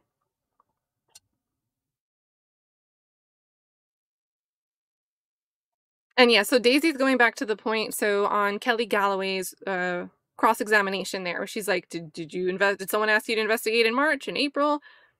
Daisy's saying she's trying to highlight that Jonathan Majors didn't come in sooner.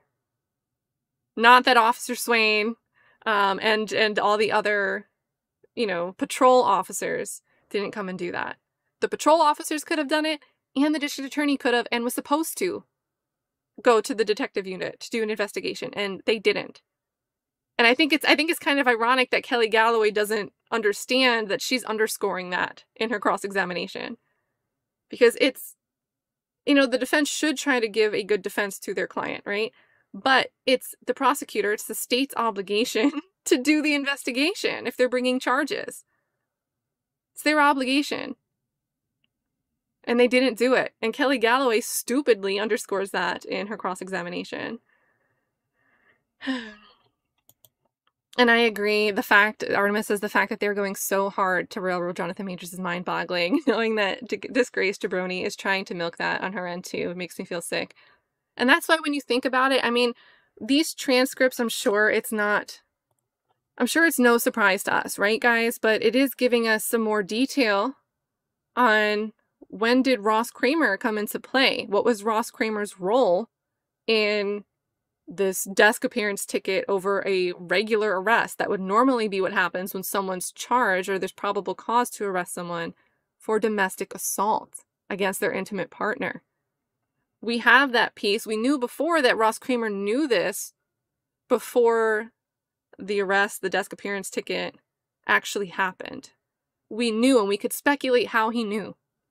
But here we get some, well, yeah, I'm the detective here, and I had to correspond through this representative, which we know is Ross Kramer, and he kind of triangulated everything between the Manhattan District Attorney's Office, who never came to us to open an investigation.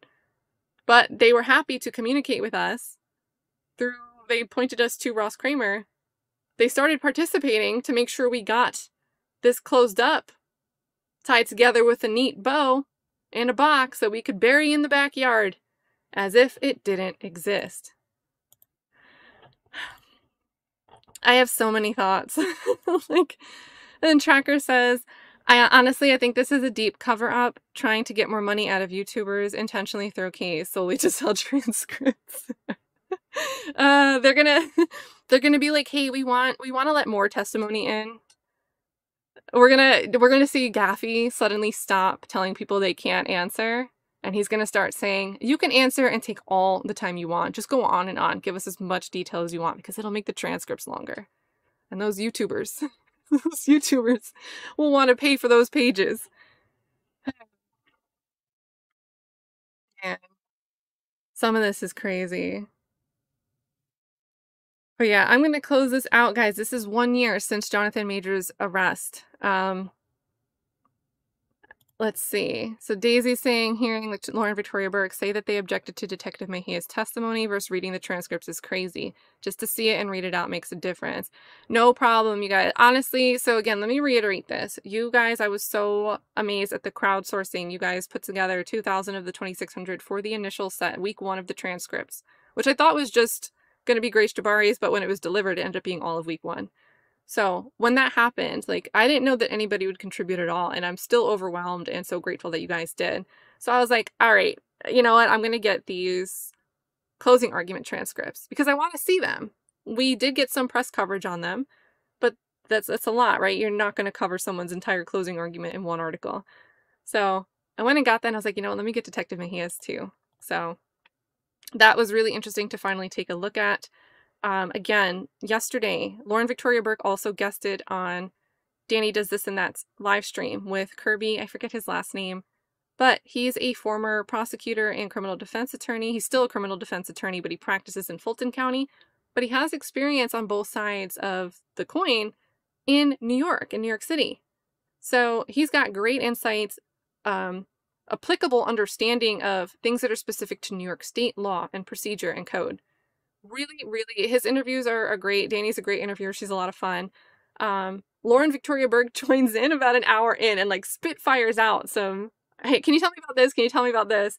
And gets a ton of great speed fire question and answers with Kirby.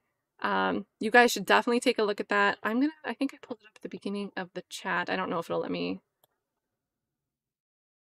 Uh, let me copy. It won't let me copy and paste from it, but I am gonna go back into the show notes and drop that in there, or you can just look up Dani Does This and That on YouTube.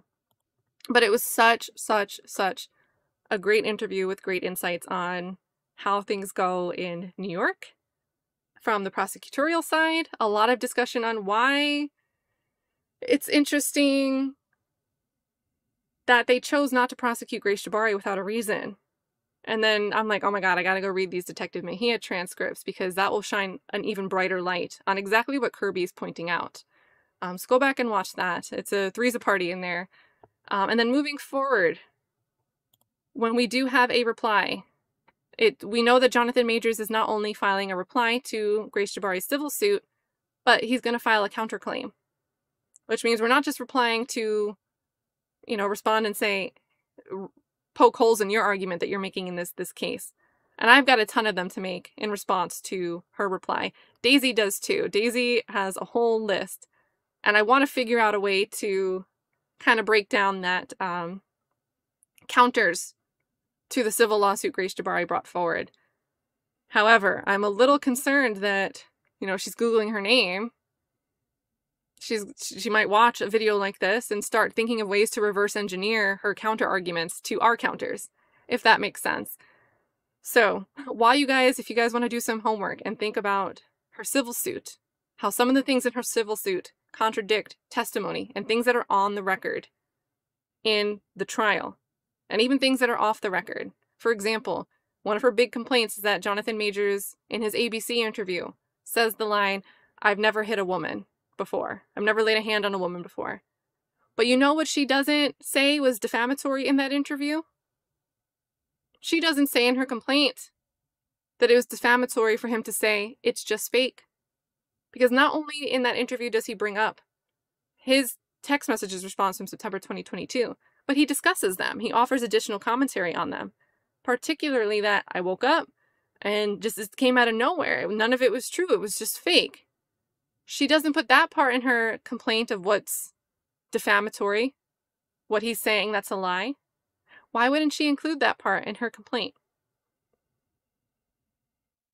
We also see her talk about, hey, in, in court, she says she didn't tell anybody. And that's a core point of the prosecutor's case. Hey, why did she say she got scrappy? Why did she say she doesn't know how her injury ta- injuries happened? Because we know Priya Chaudhry was going to say, she said, I don't know 19 times.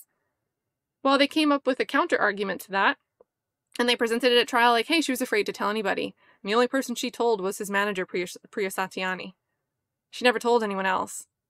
But we know that's not true. Or it's conflicting with what she's saying in her civil suit. Because in her civil suit, she's saying, hey, I told my friends, I told my family, I told the prosecutor about all, not just March 25th, but I told them about all these prior incidents. I told them all that. Well, what's the problem with that? Kirby's going to break it down. But in short, Kirby says, hey, look, it's great that Jonathan Majors didn't file a civil suit against her first. In retrospect, I said that that was a possibility a few months ago. Kirby suggested that. Um, he's like, but thinking about it now, it's interesting because if she's saying stuff in her civil suit that alleges the prosecution knew something, they were told about all these prior things. Well, if the prosecutors knew that stuff, but they didn't disclose it to the defense during trial, that's a big issue. That's a discovery issue for the active criminal case, for, you know, any motions, post conviction relief, and appeal. So, sounds like a can of worms that Grace Jabbari opened, if you ask me. And personally, I did not see that much of a response to her lawsuit besides from people gathering in this chat. Dre did a stream on it. Thank you, Dre, for becoming a member. I just saw you pop up. I think Lauren Victoria Burke did a video on it. Pam's done videos on it. Uh, Dani's stream was all about that. I think Grace Jabbari opened a can of worms. And if her goal was to you know, she wants to avoid humiliation. She wants to avoid people saying bad things about her that could damage her reputation. I don't think that her lawsuit brought people, brought that sympathy spotlight back to her direction. I really don't think so because most people have seen that chase video. And even if people have concerns like, hey, one or two other people came forward and said he kind of has problematic behavior, there's more than one person now, that still has nothing to do with March 25th. And it has nothing to do with Grace Jabbari's credibility just because someone else says something. And you know, those people, we don't have any of their statements under oath, but we could poke, we could ask questions about that stuff separately. But my point is, with Grace Jabbari, if she wanted this civil lawsuit, whether she wants to get some money, and let me clarify here, she's not suing for $75,000. She's suing in excess of $75,000. She does not actually disclose the amount she's looking for. But since it's above $75,000, it has to go to a certain a certain pathway through the courts because um, there's other cases that would handle amounts less than $75,000. So we don't know that amount, but she was she was sure they put that 75k right at the top to make it look like oh, I'm not really looking for millions or anything like that. That's not what that means. Um, I thought that was very slick. Maybe it was incidental, maybe it was inadvertent, um, but that's usually not where where, hey, this is why we're filing in this court. That's usually not where that's laid out in that first sentence. It's usually, you know, jurisdiction and venue. It's its own paragraph after the intro. so who knows? Um, yeah, I have a lot of thoughts about this, and maybe we can roundtable people together, but let me know if you guys think I can do a stream sooner. You know, my birthday's coming up. I would love to do a birthday stream. Just counter arguments, counterpoints to that civil suit case uh, point for point. But at the same time, I think we should wait until we at least have a reply and a countersuit filed by Jonathan Majors, because that way they already have to be. That's when they'll start deciding how they're going to respond to that stuff. Maybe uh, maybe we shouldn't be giving them advance notice of things they should be prepared to reverse engineer and argue, right? Um, but let me know if you guys think it matters because I'm sure she's going to watch one of our videos on this.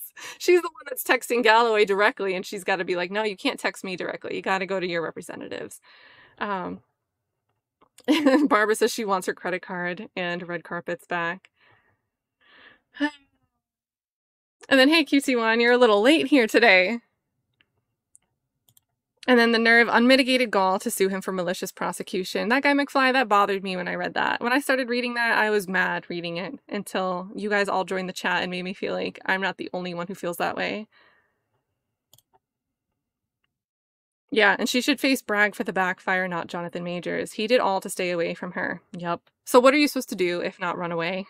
The DA should be blamed for her public woes. I agree, because they were the ones that needed her to come testify. If she's mad that she had to speak publicly about what happened to her. I don't think she was mad about having to testify against him, at least not mostly mad. I think she was mad that there was that ABC interview, there was public statements by Priya Chaudhry, and she says a concerted media campaign. But surely she's got to mean social media because where was Rolling Stone, Variety, where were these major outlets talking about anything that wasn't favorable to her? They were arguing against the messenger's reporting that she had a desk appearance ticket out. So I don't know what she was. She's talking about a concerted media campaign unless she means social media and she means us. But I'm here. I have my opinions and they're based on your own words, Grace Jabbari. So let's all. Yeah, we're all here because of how we felt. Yeah. So I mean, look, I'm glad that I'm not alone in feeling this way about this type of thing. So let's uh you know i'll keep you guys updated on a stream i'm gonna jump out of this stream. I've got a busy week, guys. I started with a new client and still have other clients overlapping with the time. So I've been working like 60 hour days on day job stuff. Um, but I really want to make sure whenever we get a reply and counterclaim, we can read through that because we're going to see things. I guarantee you, we are going to see things that we have not seen said by Jonathan Major's side before because we didn't see him testify. We had that ABC interview, but it was pretty limited in scope. Um, it'll be it'll be a stream to remember. I'll I'll invite people on. Hope you guys can all be there. It'll be great. Thank you guys all for joining. I'm sorry again that I can't get through all the chats as they're coming in, but you guys are always welcome to chat away while we're covering these things. I don't mind at all. You guys all take care and give me like two seconds to link to Dani's stream in the description and then go check that out with Kirby. Bye, guys.